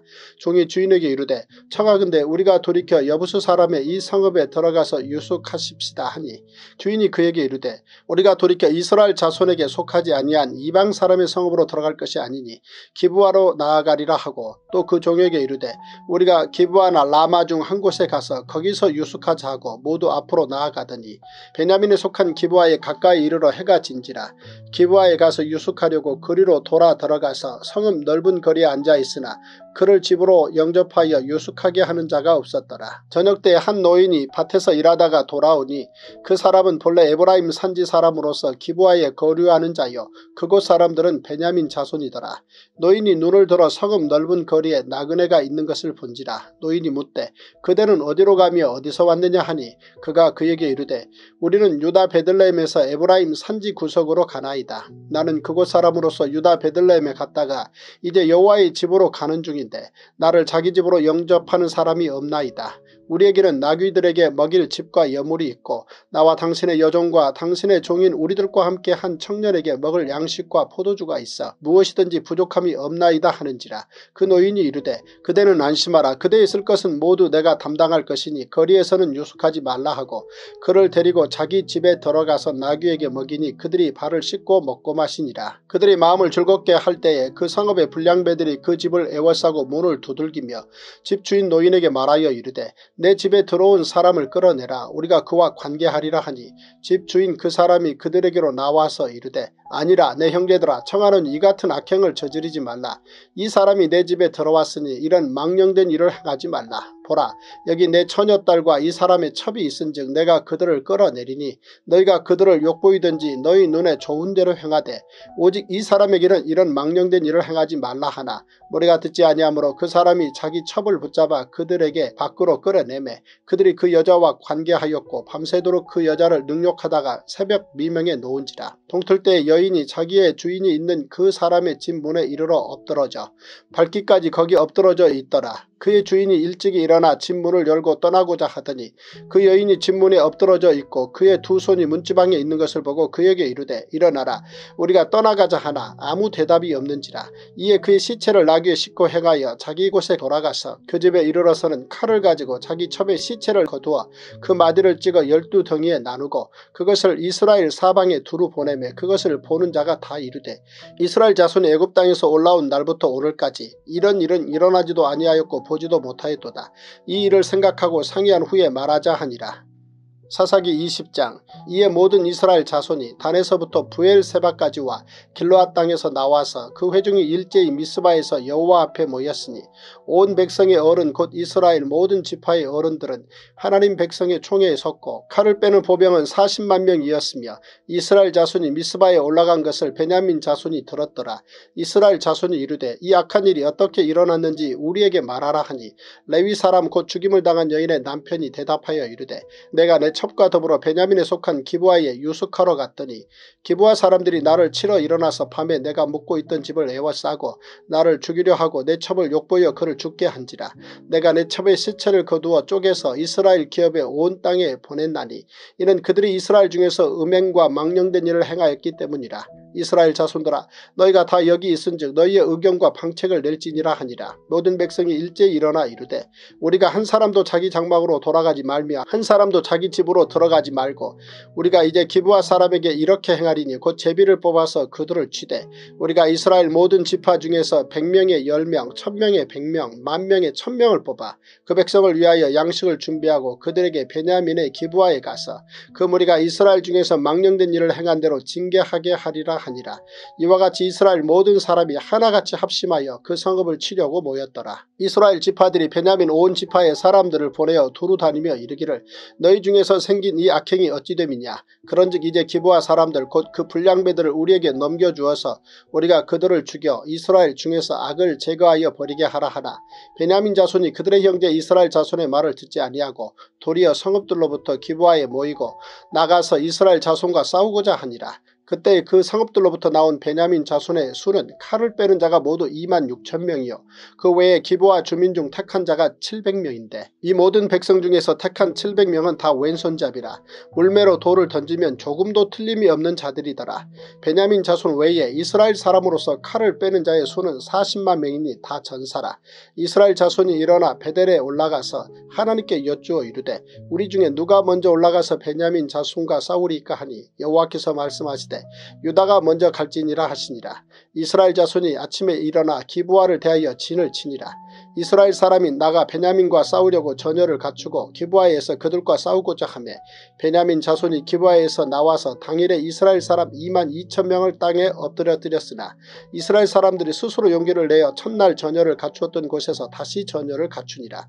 이스라엘 자손이 올라가 여호와 앞에서 저물도록 울며 여호와께 여쭈어 이르되 내가 다시 나아가서 내 형제 베냐민 자손과 싸우리이까 하니 여호와께서 말씀하시되 올라가서 치라 하시니라. 그 이튿날에 이스라엘 자손이 베냐민 자손 을 치러 나아가매 베냐민도 그 이튿날에 기부하에서 그들을 치러 나와서 다시 이스라엘 자손 만 8천명을 땅에 엎드려 드렸으니 다 칼을 빼는 자였더라. 이에 온 이스라엘 자손 모든 백성이 올라가 베델에 이르러 울며 거기서 여호와 앞에 앉아서 그날이 저물도록 금식하고 번제와 화목제를 여호와 앞에 드리고 이스라엘 자손이 여호와께 물으니라. 그때에는 하나님의 언약궤가 거기 있고 아론의 손자인 엘레아살의 아들 비느하스가 그 앞에 모시고 섰더라.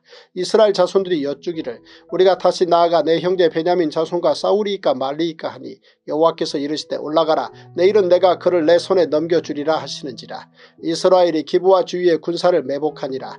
이스라엘 자손이 셋째 날에 베냐민 자손을 치러 올라가서 전과 같이 기부와에 맞서 전열을 갖추매 베냐민 자손이 나와서 백성을 맞더니 꾀임에 빠져 성음을 떠났더라.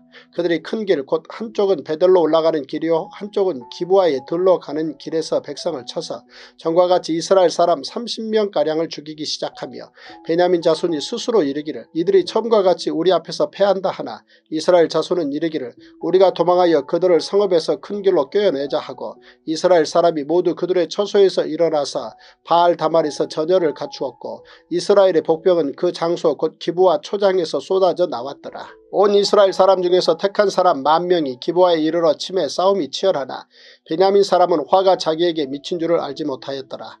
여호와께서 이스라엘 앞에서 베냐민을 치심해 당일에 이스라엘 자손이 베냐민 사람 2만 5천 100명을 죽였으니 다 칼을 빼는 자였더라. 이에 베냐민 자손이 자기가 패한 것을 깨달았으니 이는 이스라엘 사람이 기부하에 매복한 군사를 믿고 잠깐 베냐민 사람 앞을 피하며 복병이 급히 나와 기부하로 돌격하고 나아가며 칼날로 온 성읍을 쳤습니다라. 처음에 이스라엘 사람과 복병 사이에 약속하기를 성읍에서 큰 연기가 치솟는 것으로 군호를 삼자 하고 이스라엘 사람은 싸우다가 물러가고 베냐민 사람은 이스라엘 사람 30명가량을 쳐 죽이기를 시작하며 이르기를 이들이 틀림없이 처음 싸움같이 우리에게 패한다 하다가 연기 구름이 기둥같이 성읍 가운데서 치솟을 때에 베냐민 사람이 뒤를 돌아보매 온 성읍의 연기가 하늘에 닿았고 이스라엘 사람은 돌아서는지라 베냐민 사람들이 화가 자기들에게 미친 것을 보고 심히 놀라 이스라엘 사람 앞에서 몸을 돌려 광야길로 향하였으나 군사가 급히 추격하며 각 성읍에서 나온 자를 그 가운데에서 진멸하니라. 그들이 베냐민 사람을 애워싸고 기부와 앞 동쪽까지 추격하며 그 쉬는 곳에서 짓밟음에 베냐민 중에서 엎드러진 자가 만 8천 명이니 다 용사더라. 그들이 몸을 돌려 광야로 도망하였으나 림몬 바위에 이르는 큰 길에서 이스라엘이 또 5천 명을 이삭 줍듯 하고 또 급히 그 뒤를 따라 기돔에 이르러 또 2천 명을 죽였으니 이날에 베냐민 사람으로서 칼을 빼는 자가 엎드러진 것이 모두 2만 5천 명이니 다 용사였더라. 베냐민 사람 600명이 돌이켜 광야로 도망하여 림몬 바위에 이르러 거기에서 넉 달 동안을 지냈더라. 이스라엘 사람이 베냐민 자손에게로 돌아와서 온 성읍과 가축과 만나는 자를 다 칼날로 치고 닥치는 성읍은 모두 다 불살랐더라. 사사기 21장 이스라엘 사람들이 미스바에서 맹세하여 이르기를 우리 중에 누구든지 딸을 베냐민 사람에게 아내로 주지 아니하리라 하였더라. 백성이 베델에 이르러 거기서 저녁까지 하나님 앞에 앉아서 큰 소리로 울며 이르되 이스라엘의 하나님 여호와여 어찌하여 이스라엘에 이런 일이 생겨서 오늘 이스라엘 중에 한 지파가 없어지게 하시나이까 하더니 이튿날에 백성이 일찍이 일어나 거기에 한 재단을 쌓고 번제와 허목제를 드렸더라. 이스라엘 자손이 이르되 이스라엘 온 지파 중에 총회와 함께하여 여호와 앞에 올라오지 아니 아니한 자가 누구냐 하니 이는 그들이 크게 맹세하기를 미스바에 와서 여호와 앞에 이르지 아니하는 자는 반드시 죽일 것이라 하였습니다. 이스라엘 자손이 그들의 형제 베냐민을 위하여 뉘우쳐 이르되 오늘 이스라엘 중에 한 지파가 끊어졌도다. 그 남은 자들에게 우리가 어떻게 하면 아내를 얻게 하리요. 우리가 전에 여호와로 맹세하여 우리의 딸을 그들의 아내로 주지 아니하리라 하였도다. 또 이르되 이스라엘 지파 중 미스바에 올라와서 여호와께 이르지 아니한 자가 누구냐 하고 본즉 야베스 길라에서는 한 사람도 진영에 이르러 총회에 참여하지 하지 아니하였으니 백성을 계수할 때 야베스 길라 주민이 하나도 거기 없음을 보았습니다. 회중이 큰 용사 만 이천 명을 그리로 보내며 그들에게 명령하여 이르되 가서 야베스 길라 주민과 부녀와 어린 아이를 칼날로 치라. 너희가 행할 일은 모든 남자 및 남자와 찬 여자를 진멸하여 바칠 것이니라 하였더라. 그들이 야베스 길라 주민 중에서 젊은 처녀 400명을 얻었으니 이는 아직 남자와 동침한 일이 없어 남자를 알지 못하는 자라. 그들을 실로 진영으로 데려오니 이곳은 가나안 땅이더라. 온 회중이 림몬 바위에 있는 베냐민 자손에게 사람을 보내어 평화를 공포하게 하였더니 그때 베냐민이 돌아온지라. 이에 이스라엘 사람이 야베스 길러한 여자들 중에서 살려둔 여자들을 그들에게 주었으나 아직도 부족하므로 백성들이 베냐민을 위하여 뉘우쳤으니 이는 여호와께서 이스라엘 지파들 중에 한 지파가 빠지게 하셨음이었더라. 회중의 장로들이 이르되 베냐민의 여인이 다 멸절되었으니 이제 그 남은 자들에게 어떻게 하여야 아내를 얻게 할 할까 하고 또 이르되 베냐민 중 도망하여 살아남은 자에게 마땅히 기업이 있어야 하리니 그리하면 이스라엘 중에 한 지파가 사라짐이 없으리라. 그러나 우리가 우리의 딸을 그들의 아내로 주지 못하리니 이는 이스라엘 자손이 맹세하여 이르기를 딸을 베냐민에게 아내로 주는 자는 저주를 받으리라 하였음이로다 하니라. 또 이르되 보라 베델 북쪽 느보나 남쪽 베델에서 세겜으로 올라가는 큰 길 동쪽 실로에 매년 여호와의 명절이 있도다 하고 베냐민 자손에게 명령하여 이르되 가서 포도원에 숨어 보다가 실로의 여자들이 춤을 추러 나오거든 너희는 포도원에서 나와서 실로의 딸 중에서 각각 하나를 붙들어 가지고 자기 아내로 삼아 베냐민 땅으로 돌아가라. 만일 그의 아버지나 형제가 와서 우리에게 시비하면 우리가 그에게 말하기를 청하건대 너희는 우리에게 은혜를 베풀어 그들을 우리에게 줄지니라. 이는 우리가 전쟁할 때각 사람을 위하여 그의 아내를 얻어주지 못하였고 너희가 자유로 그들에게 준 것이 아니니 너희에게 죄가 없을 것임이니라 하게노라 하매 베냐민 자손이 그같이 행하여 춤추는 여자들 중에서 자기들의 숫자대로 붙들어 아내로 삼아 자기 기업에 돌아가서 성읍들을 건축하고 거기에 거주하였더라. 그때 이스라엘 자손이 그곳에서 각기 자기의 지파 자기의 가족에게로 돌아갔으니 곧 각기 그곳에서 나와서 자기의 기업으로 돌아갔더라. 그때 이스라엘에 왕이 없으므로 사람이 각기 자기의 소견에 오른 대로 행하였더라. 제87일 롯기 1장 사사들이 치리하던 때에 그 땅에 흉년이 드니라. 유다 베들레헴의 한 사람이 그의 아내와 두 아들을 데리고 모압 지방에 가서 거류하였는데 그 사람의 이름은 엘리멜렉이요 그의 아내의 이름은 나옴이요 그의 두 아들의 이름은 말론과 기련이니 유다 베들레헴 에브라 사람들이더라. 그들이 모압 지방에 들어가서 거기 살더니 나오미의 남편 엘리멜렉이 죽고 나오미와 그의 두 아들이 남았으며 그들은 모압 여자 중에서 그들의 아내를 맞이하였는데 하나의 이름은 오르바요 하나의 이름은 루시더라. 그들이 거기에 거주한 지 10년쯤에 말론과 기론 두 사람이 다 죽고 그 여인은 두 아들과 남편의 뒤에 남았더라. 그 여인이 모압 지방에서 여호와께서 자기 백성을 돌보시사 그들에게 양식을 주셨다 함을 듣고 이에 두 며느리와 함께 일어나 모압 지방에서 돌아오려 하여 있던 곳에서 나오고 두 며느리도 그와 함께하여 유다 땅으로 돌아오려고 길을 가다가 나오미가 두 며느리에게 이르되 너희는 각기 너희 어머니의 집으로 돌아가라. 너희가 죽은 자들과 나를 선대한 것 같이 여호와께서 너희를 선대하시기를 원하며 여호와께서 너희에게 허락하사 각기 남편의 집에서 위로를 받게 하시기를 원하노라 하고 그들에게 입맞춤에 그들이 소리를 높여 울며 나오미에게 이르되 아니니이다. 우리는 어머니와 함께 어머니의 백성에게로 돌아가겠나이다 하는지라. 나오미가 이르되 내 딸들아 돌아가라. 너희가 어찌 나와 함께 가려느냐. 내 태중에 너희의 남편 될 아들들이 아직 있느냐. 내 딸들아 되돌아가라. 나는 늙었으니 남편을 두지 못할지라. 가령 내가 소망이 있다고 말한다든지 오늘 밤에 남편을 두어 아들들을 낳는다 하더라도 너희가 어찌 그들이 자라기를 기다리겠으며 어찌 남편 없이 지내겠다고 결심하겠느냐. 내 딸들아 그렇지 아니하니라. 여호와의 손이 나를 치셨으므로 나는 너희로 말미암아 더욱 마음이 아프도다 하매 그들이 소리를 높여 다시 울더니 오르바는 그의 시어머니에게 입맞추되 롯은 그를 붙쫓았더라.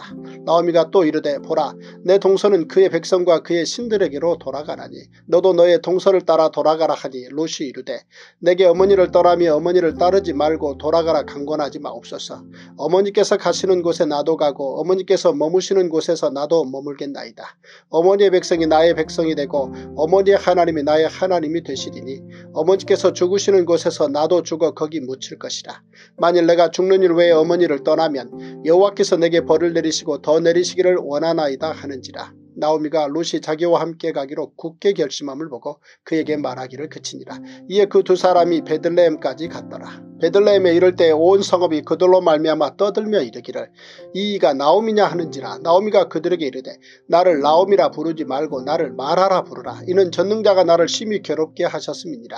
내가 풍족하게 나갔더니 여호와께서 내게 비어 돌아오게 하셨느니라. 여호와께서 나를 징벌하셨고 전능자가 나를 괴롭게 하셨거를 너희가 어찌 나를 나오미라 부르느냐 하니라 나오미가 모압 지방에서 그의 며느리 모압 여인 룩과 함께 돌아왔는데 그들이 보리 추수 시작할 때에 베들레헴에 이르렀더라. 롯기 2장 나오미의 남편 엘리멜렉의 친족으로 유력한 자가 있으니 그의 이름은 보아스더라. 모함 여인 롯이 나오미에게 이르되 원하건대 내가 밭으로 가서 내가 누구에게 은혜를 입으면 그를 따라서 이삭을 줍겠나이다 하니 나오미가 그에게 이르되 내 따라 갈지어다 하며 롯이 가서 베는 자를 따라 밭에서 이삭을 줍는데 우연히 엘리멜렉의 친족 보아스에게 속한 밭에 이르렀더라. 마침 보아스가 베들레헴에서부터 와서 베는 자들에게 이르되 여호와께서 너희와 함께 하시기를 원하노라 하니 그들이 대답 하되 여호와께서 당신에게 복 주시기를 원하나이다 하니라. 보아스가 베는 자들을 거느린 사환에게 이르되 이는 누구의 소녀냐 하니 베는 자를 거느린 사환이 대답하여 이르되 이는 나오미와 함께 모압 지방에서 돌아온 모압 소녀인데 그의 말이 나로 베는 자를 따라 단사에서 이삭을 죽게 하소서 하였고 아침부터 와서는 잠시 집에서 쉰 외에 지금까지 계속하는 중이니이다. 보아스가 루스에게 이르되 내 따라 들으라 이삭을 주우러 다른 밭으로 가지 말며 여기서 떠나지 말고 나의 소녀들과 함께 있으라. 그들이 베는 밭을 보고 그들을 따르라. 내가 그 소 년들에게 명령하여 너를 건드리지 말라 하였느니라. 목이 마르거든 그릇에 가서 소년들이 길어온 것을 마실지니라 하는지라. 루시 엎드려 얼굴을 땅에 대고 절하며 그에게 이르되 나는 이방 여인이거늘 당신이 어찌하여 내게 은혜를 베푸시며 나를 돌보시나이까 하니 보아스가 그에게 대답하여 이르되 내 남편이 죽을 후로 내가 시어머니에게 행한 모든 것과 내 부모와 고국을 떠나 전에 알지 못하던 백성에게로 온 일이 내게 분명히 알려졌느니라. 여호와께서 내가 행한 일에 보답하시기를 원하며 이스라엘의 하나님 여호와께서 그의 날개 아래에 보호를 받으러 온 내게 온전한 상 주시기를 원하노라 하는지라. 롯이 이르되 내 주여 내가 당신께 의뢰 입기를 원하나이다. 나는 당신의 하녀 중에 하나와도 같지 못하오나 당신이 이 하녀를 위로하시고 마음을 기쁘게 하는 말씀을 하셨나이다 하니라. 식사할 때 보아스가 롯에게 이르되 이리로 와서 떡을 먹으면 내 떡 조각을 초에 찍으라 하므로 롯이 곡식 베는 자 곁에 앉으니 그가 볶은 곡식을 주매 롯이 배불리 먹고 남았더라. 롯이 이삭을 주우러 일어날 때 보아스가 자기 소년들에게 명령하여 이르되 그에게 곡식단 사이에서 줍게 하고 책망하지 말며 또 그를 위하여 곡식다발에서 조금씩 뽑아버려서 그에게 줍게 하고 꾸짖지 말라 하니라. 롯이 밭에서 저녁까지 줍고 그 죽은 것을 떠니 보리가 한 에바쯤 되는지라. 그것을 가지고 성읍에 들어가서 시어머니에게 그 죽은 것을 보이고 그가 배불리 먹고 남긴 것을 내어 시어머니에게 드리매 시어머니가 그에게 이르되 오늘 어디서 주었느냐? 어디서 일을 하였느냐? 너를 돌본 자에게 복이 있기를 원하노라 하니 롯이 누구에게서 일했는지를 시어머니에게 알게 하여 이르되 오늘 일하게 한 사람의 이름은 보아스니이다 하는지라.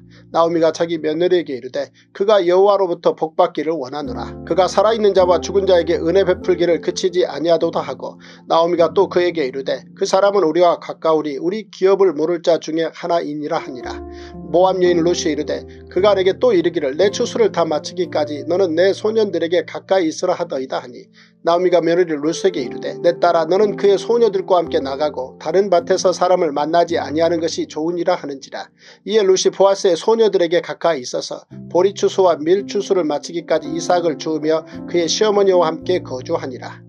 룻기 3장 롯의 시어머니 나오미가 그에게 이르되 내 딸아 내가 너를 위하여 안식할 곳을 구하여 너를 복되게 하여야 하지 않겠느냐? 내가 함께하던 하녀들을 둔 보아스는 우리의 친족이 아니냐? 보라 그가 오늘 밤에 타작 마당에서 보리를 까불리라. 그런즉 너는 목욕하고 기름을 바르고 의복을 입고 타작 마당에 내려가서 그 사람이 먹고 마시기를 다하기까지는 그에게 보이지 말고 그가 누울 때 너는 그가 눕는 곳을 알았다가 들어가서 그의 발치 이불을 들고 거기 누우라. 그가 내 할 일을 내게 알게 하리라 하니 롯이 시어머니에게 그에게 이르되 어머니의 말씀대로 내가 다 행하리이다 하니라. 그가 타작마당으로 내려가서 시어머니의 명령대로 다 하니라. 보아스가 먹고 마시고 마음이 즐거워 가서 곡식단 더미의 끝에 눕는지라. 롯이 가만히 가서 그의 발치 이불을 들고 거기에 누웠더라. 밤중에 그가 놀라 몸을 돌이켜 본즉 한 여인이 자기 발치에 누워있는지라. 이르되 내가 누구냐 하니 대답하되 나는 당신의 여종 루시오니 당신의 옷자락을 펴 당신의 여종을 덮으소서. 이는 당신이 기업을 모를 자가 되민이이다 하니 그가 이르되 내 딸아 여호와께서 내게 복 주시기를 원하노라. 내가 가난하건 부하건 젊은 자를 따르지 아니하였으니 내가 베푼 은혜가 처음보다 나중이 더하도다. 그리고 이제 내 딸아 두려워하지 말라. 내가 내 말대로 내게 다 행하리라. 내가 현숙한 여자인 줄을 나의 성읍 백성이 다 아느니라. 참으로 나는 기업을 모를 자이나 기업 모를 자로서 나보다 더 가까운 사람이 있으니 이 밤에 여기서 머무르라. 아침에 그가 기업 모를 자의 책임을 내게 이행하려 하면 좋으니 그가 그 기업 모를 자의 책임을 행할 것이니라. 만일 그가 기업 모를 자의 책임을 내게 이행하기를 기뻐하지 아니하면 여호와께서 살아계심을 두고 맹세하노니 내가 기업 모를 자의 책임을 내게 이행하리라. 아침까지 누워 있을지니라 하는지라. 루시 새벽까지 그의 발치에 누웠다가 사람이 서로 알아보기 어려울 때에 일어났으니 보아스가 말하기를 여인이 타작마당에 들어온 것을 사람이 알지 못하여야 할 것이라 하였습니다. 보아스가 이르되 내 겉옷을 가져다가 그것을 펴서 잡으라 하며 그것을 펴서 잡으니 보리를 여섯 번 되어 룻에게 지워주고 성읍으로 들어가니라. 룻이 시어머니에게 가니 그가 이르되 내 딸아 어떻게 되었느냐 하니 룻이 그 사람이 자기에게 행한 것을 다 알리고 이르되 그가 내게 이 보리를 여섯 번 되어주며 이르기를 빈손으로 내 시어머니에게 가지 말라 하더이다 하니라. 이에 시어머니가 이르되 내 딸아 이 사건이 어떻게 될지 알기까지 앉아있으라. 그 사람이 오늘 이 일을 성취하기 전에는 쉬지 아니하리라 하니라. 록기 4장. 보아스가 성문으로 올라가서 거기 앉아 있더니 마침 보아스가 말하던 기업 물을 자가 지나가는지라. 보아스가 그에게 이르되 아무개여 이리로 와서 앉으라 하니 그가 와서 앉으매. 보아스가 그 성읍장로 10명을 청하여 이르되 당신들은 여기 앉으라 하니 그들이 앉으매 보아스가 그 기업물을 자에게 이르되 모압 지방에서 돌아온 나오미가 우리 형제 엘리멜렉의 소유지를 팔려 하므로 내가 여기 앉은 이들과 내 백성의 장로들 앞에서 그것을 사라고 내게 말하여 알게 하려 하였노라. 만일 내가 물으려면 물으려니와 만일 내가 물으지 아니하려거든 내게 구하여 알게 하라. 내 다음은 나요 그 외에는 물을 자가 없느니라 하니 그가 이르되 내가 물으리라 하는지라 보아스가 이르되 내가 나오미의 손에서 그 밭을 사는 날에 곧 죽은 자의 아내 모함 여인 루색에서 사서 그 죽은 자의 기업을 그의 이름으로 세워야 할지니라 하니 그 기업 물을 자가 이르되 나는 내 기업에 손해가 있을까 하여 나를 위하여 물으지 못하노니 내가 물을 것을 내가 물으라 나는 물으지 못하겠노라 하는지라 옛적 이스라엘 중에는 모든 것을 물으거나 교환하는 일을 확정하기 위하여 사람이 그의 신을 벗어 그의 이웃에게 주더니 이것이 이스라엘 중에 증 증명하는 전례가 된지라. 이에 그 기업 모를 자가 보아스에게 이르되 내가 너를 위하여 살아하고 그의 신을 벗는지라. 보아스가 장로들과 모든 백성에게 이르되 내가 엘리멜렉과 기련과 말론에게 있던 모든 것을 나오미의 손에서 산 일에 너희가 오늘 증인이 되었고 또 말론의 아내 모함 여인 룻을 사서 나의 아내로 맞이하고 그 죽은 자의 기업을 그의 이름으로 세워 그의 이름이 그의 형제 중과 그곳 성문에서 끊어지지 아니하게 하며 너희가 오늘 증인이 되었느니라 하니 성문에 있는 모든 백성과 장로들이 이르되 우리가 증인이 되나니 여호와께서 내 집에 들어가는 여인으로 이스라엘의 집을 세운 라엘과 레 레아 두 사람과 같게 하시고 내가 에브랏에서 유력하고 베들레헴에서 유명하게 하시기를 원하며 여호와께서 이 젊은 여자로 말미암아 내게 상속자를 주사 내 집이 다말이 유다에게 낳아준 베레스의 집과 같게 하시기를 원하노라 하니라. 이에 보아스가 룻을 맞이하여 아내로 삼고 그에게 들어갔더니 여호와께서 그에게 임신하게 하심으로 그가 아들을 낳은지라. 여인들이 나오미에게 이르되 찬송할지로다. 여호와께서 오늘 내게 기업 모를 자가 없게 하지 아니하셨도다. 이 아이의 이름이 이스라엘 중에 유명하게 되기를 원하노라. 이는 내 생명의 회복자이며 내 노년의 봉양자라. 곧 너를 사랑하며 일곱 아들보다 귀한 내 며느리가 낳은 자로다 하니라. 나오미가 아기를 받아 품에 품고 그의 양육자가 되니 그의 이웃 여인들이 그에게 이름을 지어주되 나오미에게 아들이 태어났다 하여 그의 이름을 오벳이라 하였는데 그는 다윗의 아버지인 이세의 아버지였더라. 베레스의 계보는 이러하니라. 베레스는 헤스론을 낳고 헤스로는 남을 낳았고 남은 암미나답을 낳았고 남미나답은 나손을 낳았고 나손은 살몬을 낳았고 살몬은 보아스를 낳았고 보아스는 오벳을 낳았고 오벳은 이세를 낳고 이세는 다윗을 낳았더라. 제88일 사무엘상 1장 에브라임 산지 라마다임 소빔에 에브라임 사람 엘가나라 하는 사람이 있었으니 그는 여로함의 아들이요 엘리후의 손자요 도후의 증손이요 숩의 현손이더라. 그에게 두 아내가 있었으니 한 사람의 이름은 한나요 한 사람의 이름은 브닌나라. 브닌나에게는 자식이 있고 한나에게는 자식이 없었더라. 이 사람이 매년 자기 성읍에서 나와서 실로에 올라가서 만군의 여호와께 예배하며 제사를 드렸는데 엘리의 두 아들 홈니와 비너아스가 여호와의 제사장으로 거기에 있었더라. 엘가나가 제사를 드리는 날에는 재물의 분깃을 그의 아내 분인나와 그의 모든 자녀에게 주고 한나에게는 갑절을 주니 이는 그를 사랑함이라.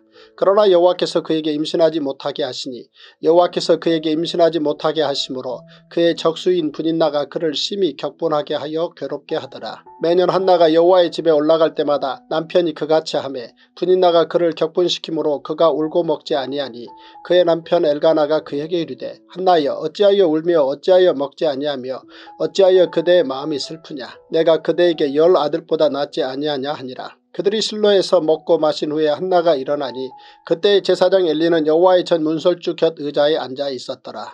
한나가 마음이 괴로워서 여호와께 기도하고 통곡하며 서원하여 이르되 만군의 여호와여 만일 주의 여종의 고통을 돌보시고 나를 기억하사 주의 여종을 잊지 아니하시고 주의 여종에게 아들을 주시면 내가 그의 평생에 그를 여호와께 드리고 삭도를 그의 머리에 대지 아니하겠나이다.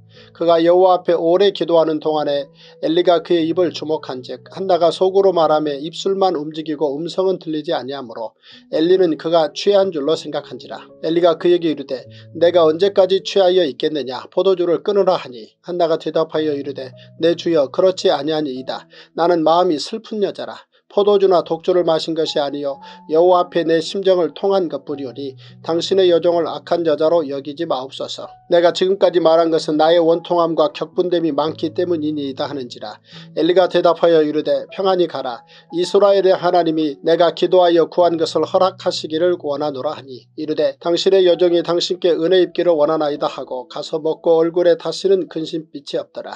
그들의 아침에 일찍 일어나 여호와 앞에 경배하고 돌아가 라마의 자기 집에 이르니라.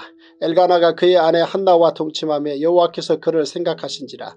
한나가 임신하고 때가 이름에 아들을 낳아 사무엘이라 이름하였으니 이는 내가 여호와께 그를 구하였다 함이더라. 그 사람 엘가나와 그의 온 집이 여호와께 매년제와 서원제를 드리러 올라갈 때에 오직 한나는 올라가지 아니하고 그의 남편에게 이르되 아이를 젖대거든 내가 그를 데리고 가서 여호와 앞에 뵙게 하고 거기에 영원히 있게 하리이다 하니 그의 남편 엘가나가 그에게 이르되 그대의 소견 에 좋은 대로 하여 그를 젖 젖되기까지 기다리라. 오직 여호와께서 그의 말씀대로 이루시기를 원하노라 하니라.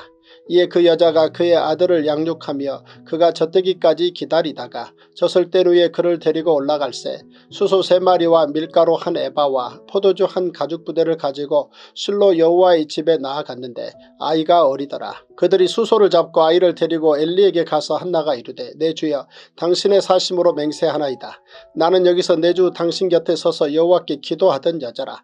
이 아이를 위하여 내가 기도하였더니 내가 구하여 기도한 바를 여호와께서 내게 허락하신지라. 그러므로 나도 그를 여호와께 드리되 그의 평생을 여호와께 드리나이다 하고 그가 거기서 여호와께 경배하니라. 사무엘상 2장 한나가 기도하여 이르되 내 마음이 여호와로 말미암아 즐거워하며 내 뿔이 여호와로 말미암아 높아졌으며 내 입이 내 원수들을 향하여 크게 열렸으니 이는 내가 주의 구원으로 말미암아 기뻐함이니이다. 여호와와 같이 거룩하신 이가 없으시니 이는 주밖에 다른 이가 없고 우리 하나님 같은 반석도 없으심이니이다. 심히 교만한 말을 다시 하지 말 것이며 오만한 말을 너희의 입에서 내지 말지어다. 여호와는 지식의 하나님이시라 행동을 달아보시느니라. 용사의 활은 꺾이고 넘어진 자는 힘으로 띠를 띠도다. 풍족하던 자들은 양식을 위하여 품을 팔고 줄이던 자들은 다시 줄이지 아니하도다. 전에 임신하지 못하던 자는 일곱을 낳았고 많은 자녀를 둔 자는 쇠약하도다. 여호와는 죽이기도 하시고 살리기도 하시며 수월에 내리게도 하시고 거기에서 올리기도 하시는도다. 여호와는 가난하게도 하시고 부하게도 하시며 낮추기도 하시고 높이기도 하시는도다. 가난한 자를 진토에서 일으키시며 빈궁한 자를 걸음더미에서 올리사 귀족들과 함께 앉게 하시며 영광의 자리를 차지하게 하시는도다. 땅의 기둥들은 여호와의 것이라 여호와께서 세계를 그것들 위에 세우셨도다. 그가 그의 거룩한 자들의 발을 지키실 것이요 악인들을 흑암 중에서 잠잠하게 하시리니 힘으로는 이길 사람이 없음이로다. 여호와를 대적하는 자는 산산이 깨어질 것이라 하늘에서 우레로 그들을 치시리로다.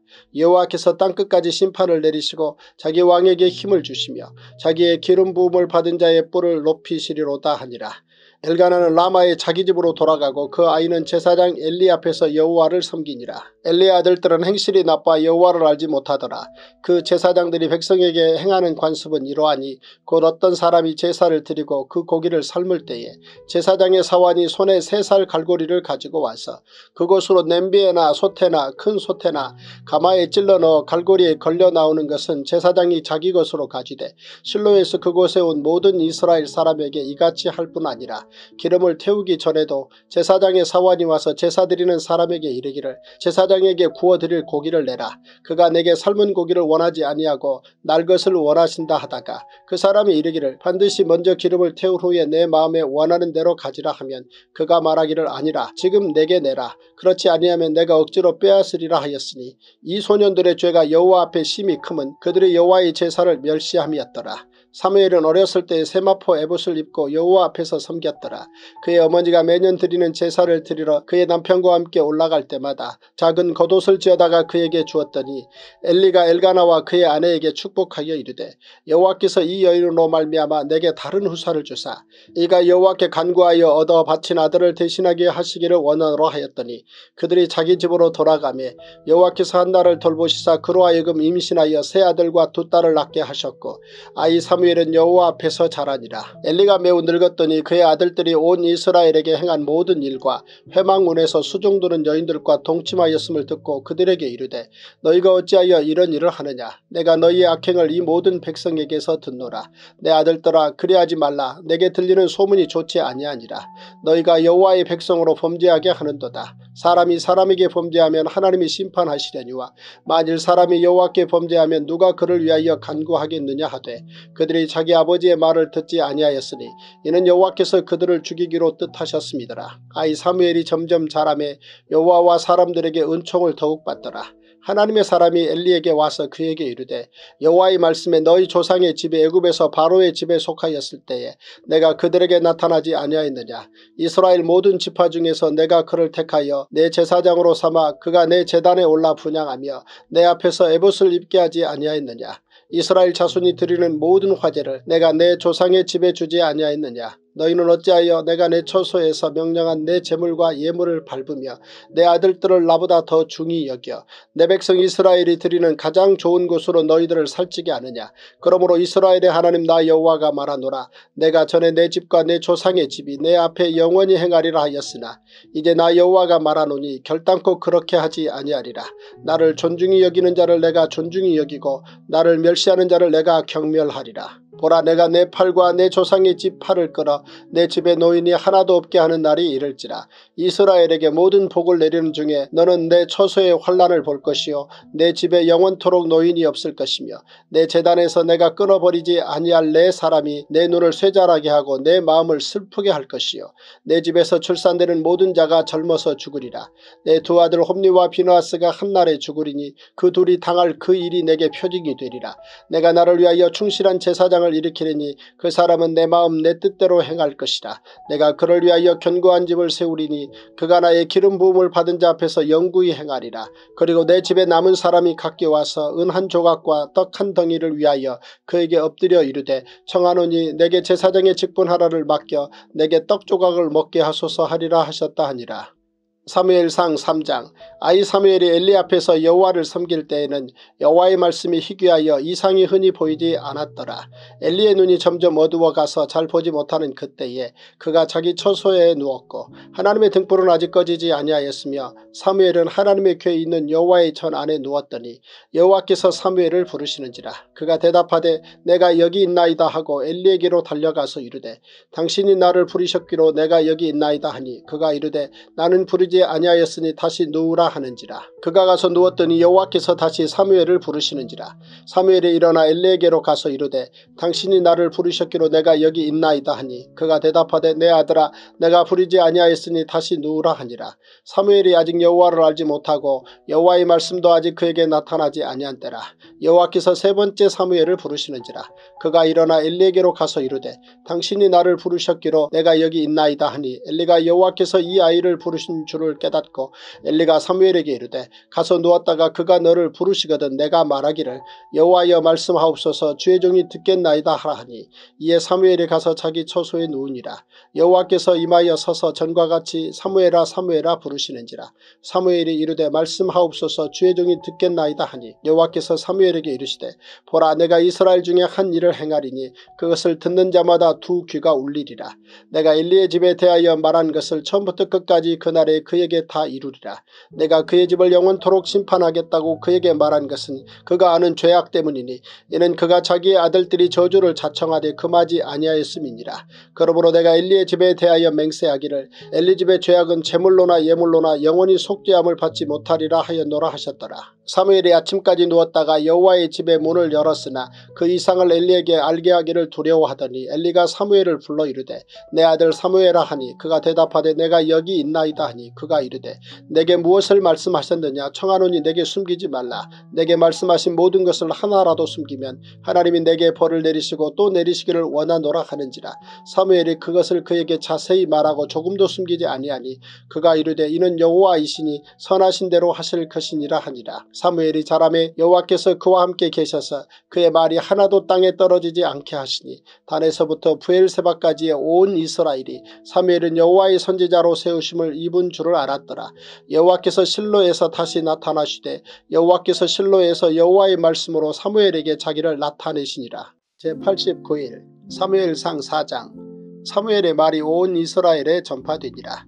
이스라엘은 나가서 블레셋 사람들과 싸우려고 에베네셀 곁에 진치고 블레셋 사람들은 아벡에 진쳤더니 블레셋 사람들이 이스라엘에 대하여 전열을 벌이니라.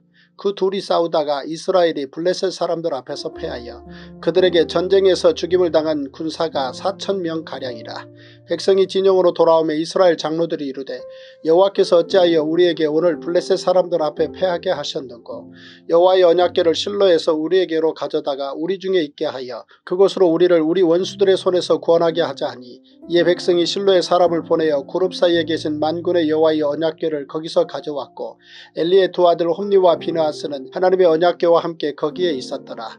여호와의 언약궤가 진영에 들어올 때에 온 이스라엘이 큰 소리로 외침에 땅이 울린지라 블레셋 사람이 그 외치는 소리를 듣고 이르되 히브리 진영에서 큰 소리로 외치면 어찌 됨이냐 하다가 여호와의 궤가 진영에 들어온 줄을 깨달은지라 블레셋 사람이 두려워하여 이르되 신이 진영에 이르렀도다 하고 또 이르되 우리에게 화로다. 전날에는 이런 일이 없었도다. 우리에게 화로다. 누가 우리를 이 능한 신들의 손에서 건지리요? 그들은 광야에서 여러가지 재앙으로 애굽인을 친 신들이니라. 너희 블레셋 사람들아 강하게 되며 대장부가 되라.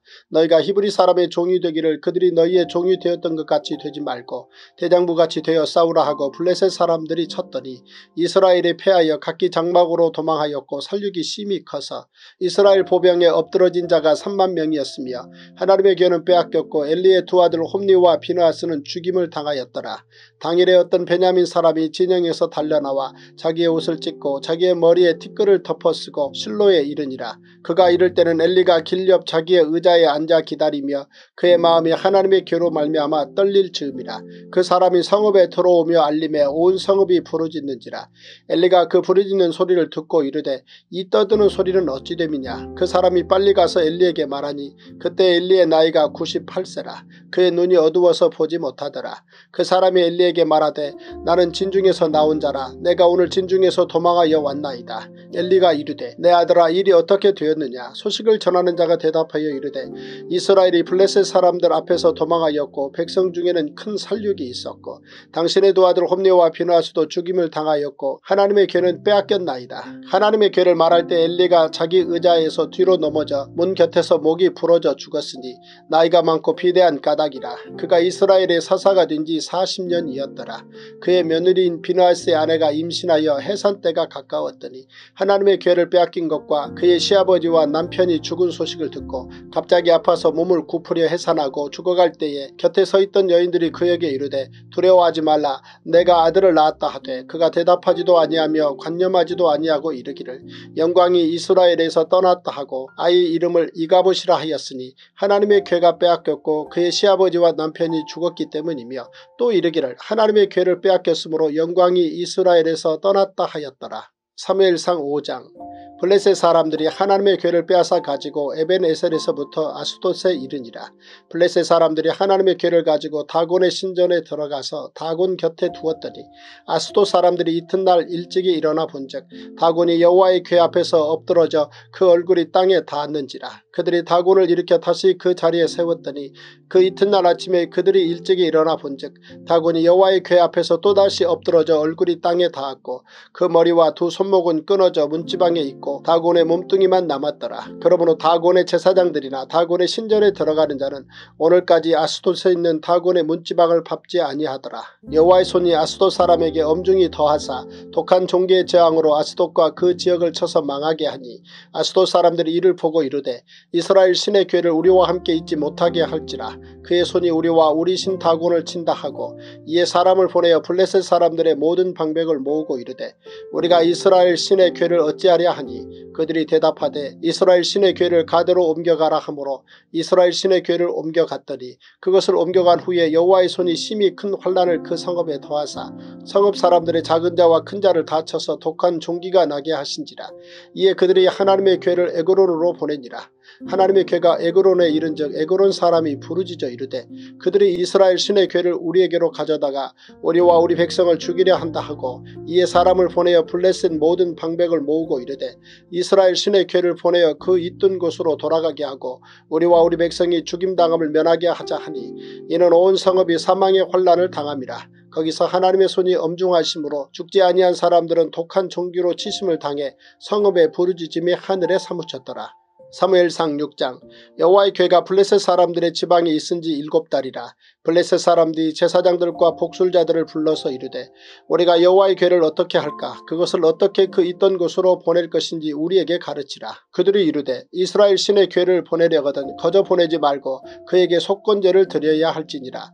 그리하면 병도 낫고 그의 손을 너희에게서 옮기지 아니하는 이유도 알리라 하니 그들이 이르되 무엇으로 그에게 드릴 속건제를 삼을까 하니 이르되 블레셋 사람의 방백의 수요대로 금독종 다섯과 금쥐 다섯 마리라야 하리니 너희와 너희 통치자에게 내린 재앙이 같음이니라. 그러므로 너희는 너희의 독한 종교의 형상과 땅을 해롭게 하는 주의 형상을 만들어 이스라엘 신께 영광을 돌리라. 그가 혹 그의 손을 너희와 너희의 신들과 너희 땅에서 가볍게 하실까 하노라. 애굽인과 바로가 그들의 마음을 완악하게 한 것 같이 어찌하여 너희가 너희의 마음을 완악하게 하겠느냐. 그가 그들 중에서 재앙을 내린 후에 그들이 백성을 가게 함으로 백성이 떠나지 아니하였느냐. 그러므로 새 수레를 하나 만들고 멍에를 메어 보지 아니한 전나는 소 두 마리를 끌어다가 소의 수레를 메우고 그 송아지들은 떼어 집으로 돌려보내고 여호와의 괴를 가져다가 수레에 싣고 속건제로 드릴 금으로 만든 물건들은 상자에 담아 괴 곁에 두고 그것을 보내어 가게 하고 보고 있다가 만일 괴가 그 본 지역 길로 올라가서 베세메스로 가면 이 큰 재앙은 그가 우리에게 내린 것이요. 그렇지 아니하면 우리를 친 것이 그의 손이 아니요 우연히 당한 것인 줄 알리라 하니라. 그 사람들이 그같이 하여 전나는 소 둘을 끌어다가 수레를 메우고 송아지들은 집에 가두고 여호와의 괴와 및 금쥐와 그들의 독종의 형상을 담은 상자를 수레 위에 실으니 암소가 벧세메스 길로 바로 행하여 대로로 가며 갈 때에 울고 좌우로 치우치지 아니하였고 블레셋 방백들은 벧세메스 경계선까지 따라가니라. 벧세메스 사람들이 골짜기에서 밀을 베다가 눈을 들어 궤를 보고 그 본 것을 기뻐하더니 수레가 벧세메스 사람 여호수아의 밭 큰 돌 있는 곳에 이르러 선지라.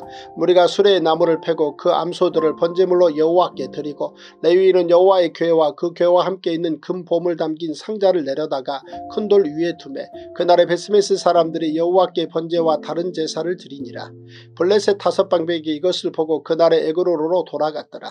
블레셋 사람이 여호와께 속건제물로 드린 금 독종은 이러하니 아스돗을 위하여 하나요 가사를 위하여 하나요 아스글론을 위하여 하나요 가드를 위하여 하나요 에그론을 위하여 하나이며 드린 바 금쥐들은 견고한 성읍에서부터 시골의 마을에까지 그리고 사람들이 여호와의 괴를 놓은 큰 돌에 이르기까지 다섯 방백들에게 속한 블레셋 사람들의 모든 성읍들의 수대로였더라. 그 돌은 베스메스 사람 여우수아의 밭에 오늘까지 있더라. 베스메스 사람들이 여호와의 괴를 들여다본 까닭에 그들을 치사 5만 70명을 죽이신지라. 여호와께서 백성을 쳐서 크게 살육하셨으므로 백성이 슬피 울었더라. 베스메스 사람들이 이르되 이 거룩하신 하나님 여호와 앞에 누가 능히 서리요 그를 우리에게서 누구에게로 올라가시게 할까 하고 전령들을 기란 여아림 주민에게 보내어 이르되 블레셋 사람들이 여호와의 괴를 도로 가져왔으니 너희는 내려와서 그것을 너희에게로 옮겨가라. 사무엘상 7장 기란 야림 사람들이 와서 여호와의 괴를 옮겨 산에 사는 아미나답의 집에 들여놓고 그의 아들 엘리아사를 거룩하게 구별하여 여호와의 괴를 지키게 하였더니 괴가 기란 여아림에 들어간 날부터 20년 동안 오래 있은지라. 이스라엘 온 족속의 여호와를 사모하니라. 사무엘이 이스라엘 온 족속에게 말하여 이르되 만일 너희가 전심으로 여호와께 돌아오려거든 이방 신들과 아스타로스를 너희 중에서 제거하고 너희 마음을 여호와께로 향하여 그만을 섬기라. 그래야면 너희를 블레셋 사람의 손에서 건져내시리라. 이에 이스라엘 자손이 바알들과 아스다롯을 제거하고 여호와만 섬기니라. 사무엘이 이르되 온 이스라엘은 미스바로 모이라. 내가 너희를 위하여 여호와께 기도하리라 하매 그들이 미스바에 모여 물을 길어 여호와 앞에 붓고 그날 종일 금식하고 거기에서 이르되 우리가 여호와께 범죄하였나이다 하니라. 사무엘이 미스바에서 이스라엘 자손을 다스리니라. 이스라엘 자손이 미스바에 모였다 함을 블레셋 사람들이 듣고 그들의 방백들이 이스라엘을 치러 올라온지라. 이스라엘 자손들이 듣고 블레셋 사람들을 두려워하여 이스라엘 자손이 사무엘에게 이르되 당신은 우리를 위하여 우리 하나님 여호와께 쉬지 말고 부르짖어 우리를 블레셋 사람들의 손에서 구원하시게 하소서 하니 사무엘이 젖먹는 어린 양 하나를 가져다가 온전한 번제를 여호와께 드리고 이스라엘을 위하여 여호와께 부르짖음에 여호와께서 응답하셨더라. 사무엘이 번제를 드릴 때에 블레셋 사람이 이스라엘과 싸우려고 가까이 오매 그날의 여호와께서 블레셋 사람에게 큰 우레를 발하여 그들을 어지럽게 하시니 그들이 이스라엘 앞에 패한지라. 이스라엘 사람들이 미스바에서 나가서 블레셋 사람들을 추격하여 백갈 아래 이르기까지 쳤더라. 사무엘이 돌을 취하여 미스바와 센 사이에 세워 이르되 여호와께서 여기까지 우리를 도우셨다고 그 이름을 에베네셀이라 하니라. 이에 블레셋 사람들이 굴복하여 다시는 이스라엘 지역 안에 들어오지 못하였으며 여호와의 손이 사무엘이 사는 날 동안에 블레셋 사람을 막으심에 블레셋 사람들이 이스라엘에게서 빼앗았던 성읍이 에고론부터 가드까지 이스라엘에게 회복되니 이스라엘이 그 사방 지역을 블레셋 사람들의 손에서 도로 찾았고 또 이스라엘과 아모리 사람 사이에 평화가 있었더라. 사무엘이 사는 날 동안에 이스라엘을 다스렸으되 해마다 베델과 길갈과 미스바로 순회하여 그 모든 곳에서 이스라엘을 다스렸고 라마로 돌아왔으니 이는 거기에 자기 집이 있음이니라. 거기서도 이스라엘을 다스렸으며 또 거기에 여호와를 위하여 재단을 쌓았더라. 제91 사무엘상 8장 사무엘이 늙음에 그의 아들들을 이스라엘 사사로 삼으니 장자의 이름은 요엘이요 차자의 이름은 아비아라. 그들이 부엘세바에서 사사가 되니라. 그의 아들들이 자기 아버지의 행위를 따르지 아니하고 이익을 따라 뇌물을 받고 판결을 굽게 하니라. 이스라엘 모든 장로가 모여 라마에 있는 사무엘에게 나아가서 그에게 이르되 보소서 당신은 늙고 당신의 아들들은 당신의 행위를 따르지 아니하니 모든 나라와 같이 우리에게 왕을 세워 우리를 다스리게 하소서 한지라. 우리에게 왕을 주어 우리를 다스리게 하라 했을 때에 사무엘이 그것을 기뻐하지 아니하여 여호와께 기도하며 여호와께서 사무엘에게 이르시되 백성이 내게 한 말을 다 들으라. 이는 그들이 너를 버림이 아니요 나를 버려 자기들의 왕이 되지 못하게 함이니라. 내가 그들을 애굽에서 인도하여 낸 날부터 오늘까지 그들이 모든 행사로 나를 버리고 다른 신들을 섬김같이 내게도 그리하는도다. 그러므로 그들의 말을 듣되 너는 그들에게 엄히 경고하고 그들을 다스릴 왕의 제도를 가르치라. 사무엘이 왕을 요구하는 백성에게 여호와의 모든 말씀을 말하여 이르되 너희를 다스릴 왕의 제도는 이러하니라. 그가 너희 아들들을 데려다가 그의 병거와 말을 어거하게 하리니 그들이 그 병거 앞에서 달릴 것이며 그가 또 너희의 아들들을 천부장과 오십부장을 삼을 것이며 자기 밭을 갈게 하고 자기 추수를 하게 할 것이며 자기 무기와 병거의 장비도 만들게 할 것이며 그가 또 너희의 딸들을 데려다가 향료 만드는 자와 요리하는 자와 떡 굽는 자로 삼을 것이며 그가 또 너희의 밭과 포도원과 감남원에서 제일 좋은 것을 가져다가 자기의 신하들에게 줄 것이며 그가 또 너희의 곡식과 포도원 소산의 11조를 거두어 자기의 관리와 신하에게 줄 것이며 그가 또 너희의 노비와 가장 아름다운 소년과 나귀들을 끌어다가 자기 일을 시킬 것이며 너희의 양떼의 10분의 1을 거두어 가리니 너희가 그의 종이 될 것이라. 그날에 너희는 너희가 택한 왕으로 말미암아 부르짖되 그날에 여호와께서 너희에게 응답하지 아니하시리라 하니 백성이 사무엘의 말 듣기를 거절하여 이르되 아니로소이다. 우리도 우리 왕이 있어야 하리니 우리도 다른 나라들 같이 되어 우리의 왕이 우리를 다스리며 우리 앞에 나가서 우리의 싸움을 싸워야 할 것이니이다 하는지라. 사무엘이 백성의 말을 다 듣고 여호와께 아뢰매 여호와께서 사무엘에게 이르시되 그들의 말을 들어 왕을 세우라 하시니 사무엘이 이스라엘 사람들에게 이르되 너희는 각기 성읍으로 돌아가 나가라 하니라.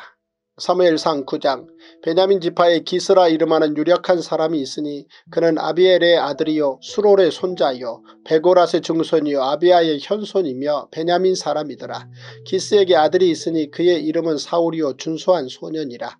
이스라엘 자손 중에 그보다 더 준수한 자가 없고 키는 모든 백성보다 어깨 위만큼 더 컸더라. 사울의 아버지 기스가 암나귀들을 잃고 그의 아들 사울에게 이르되 너는 일어나 한 사활을 데리고 가서 암나귀들을 찾으라 하며 그가 에브라임 산지와 살리사 땅으로 두루 다녀 보았으나 찾지 못하고 사알림 땅으로 두루 다녀 보았으나 그곳에는 없었고 베냐민 사람의 땅으로 두루 다녀 보았으나 찾지 못하니라. 그들이 숲 땅에 이른 때에 사울이 함께 가던 사환에게 이르되 돌아가자 내 아버지께서 암나귀 생각은 고사하고 우리를 위하여 걱정하실까 두려워하노라 하니 그가 대답하되 보소서 이 성읍에 하나님의 사람이 있는데 존경을 받는 사람이라. 그가 말한 것은 반드시 다 응하나니 그리로 가사이다. 그가 혹 우리가 갈 길을 가르쳐 줄까 하나이다 하는지라. 사울이 그의 사원에게 이르되 우리가 가면 그 사람에게 무엇을 드리겠느냐? 우리 주머니에 먹을 것이 다하였으니 하나님의 사람에게 드릴 예물이 없도다. 무엇이 있느냐 하니 사환이 사울에게 다시 대답하여 이르되 보소서 내 손에 은 한 세겔의 4분의 1이 있으니 하나님의 사람에게 드려 우리 길을 가르쳐 달라 하겠나이다 하더라. 옛적 이스라엘의 사람이 하나님께 가서 물으려 하면 말하기를 선견자에게로 가자 하였으니 지금 선지자라는 자를 옛적에는 선견자라 일컬었더라. 사울이 그의 사활에게 이르되 내 말이 옳다 가자 하고 그들이 하나님의 사람이 있는 성읍으로 가니라. 그들이 성읍을 향한 비탈길로 올라가다가 물 기르러 나오는 소녀들을 만나 그들에게 묻되 선견자가 여기 있느냐 하니 그들이 대 답하여 이르되 있나이다. 보소서 그가 당신보다 앞서 갔으니 빨리 가소서. 백성이 오늘 산당에서 제사를 드리므로 그가 오늘 성읍에 들어오셨나이다. 당신들이 성읍으로 들어가면 그가 먹으러 산당에 올라가기 전에 곧 만날이이다. 그가 오기 전에는 백성이 먹지 아니하나니 이는 그가 재물을 축사한 후에야 청함을 받은 자가 먹음이니이다.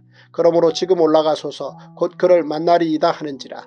그들이 성읍으로 올라가서 그리로 들어갈 때에 사무엘이 마침 산당으로 올라가려고 마주 나오더라. 사울이 오기 전날에 여호와께서 사무엘에게 알게 하여 이르시되 내일 이맘때 내가 베냐민 땅에서 한 사람을 내게로 보내리니 너는 그에게 기름을 부어 내 백성 이스라엘의 지도자로 삼으라.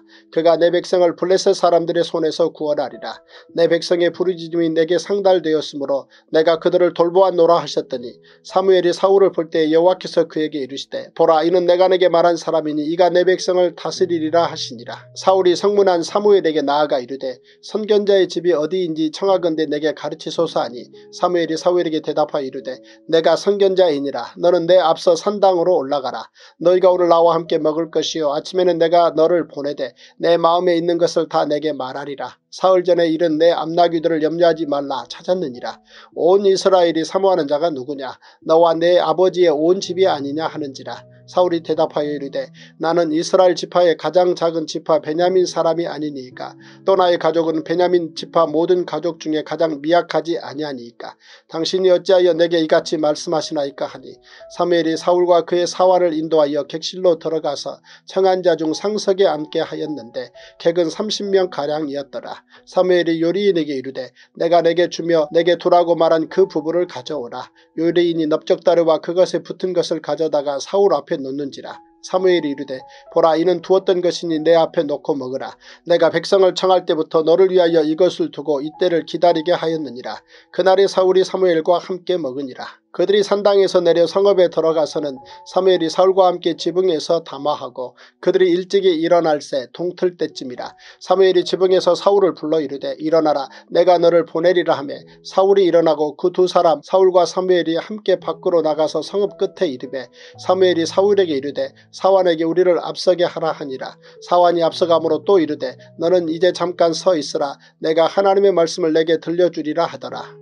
사무엘상 10장 이에 사무엘이 기름병을 가져다가 사울의 머리에 붓고 입맞추며 이르되 여호와께서 내게 기름을 부으사 그의 기업의 지도자로 삼지 아니하셨느냐? 내가 오늘 나를 떠나가다가 베냐민 경계 셀사에 있는 라헬의 묘실 곁에서 두 사람을 만나리니 그들이 내게 이르기를 내가 찾으러 갔던 암나귀들을 찾은지라. 내 아버지가 암나귀들의 염려는 놓았으나 너희로 말미암아 걱정하여 이르되 내 아들을 위하여 어찌하리요 하더라 할 것이요. 내가 거기서 더 나아가서 다볼 상수리 나무에 이르면 거기서 하나님을 배우려고 베델로 올라가는 세 사람을 만나리니 한 사람은 염소 새끼 셋을 이끌었고 한 사람은 떡 세 덩이를 가졌고 한 사람은 포도주 한 가죽 부대를 가진 자라 그들이 내게 무난하고 떡 두 덩이를 주겠고 너는 그의 손에서 받으리라. 그 후에 내가 하나님의 산에 이르리니 그곳에는 블레셋 사람들의 영문이 있느니라. 내가 그리로 가서 그 성읍으로 들어갈 때에 선지자의 무리가 산당에서부터 비파와 소고와 저와 수금을 앞세우고 예언하며 내려오는 것을 만날 것이요.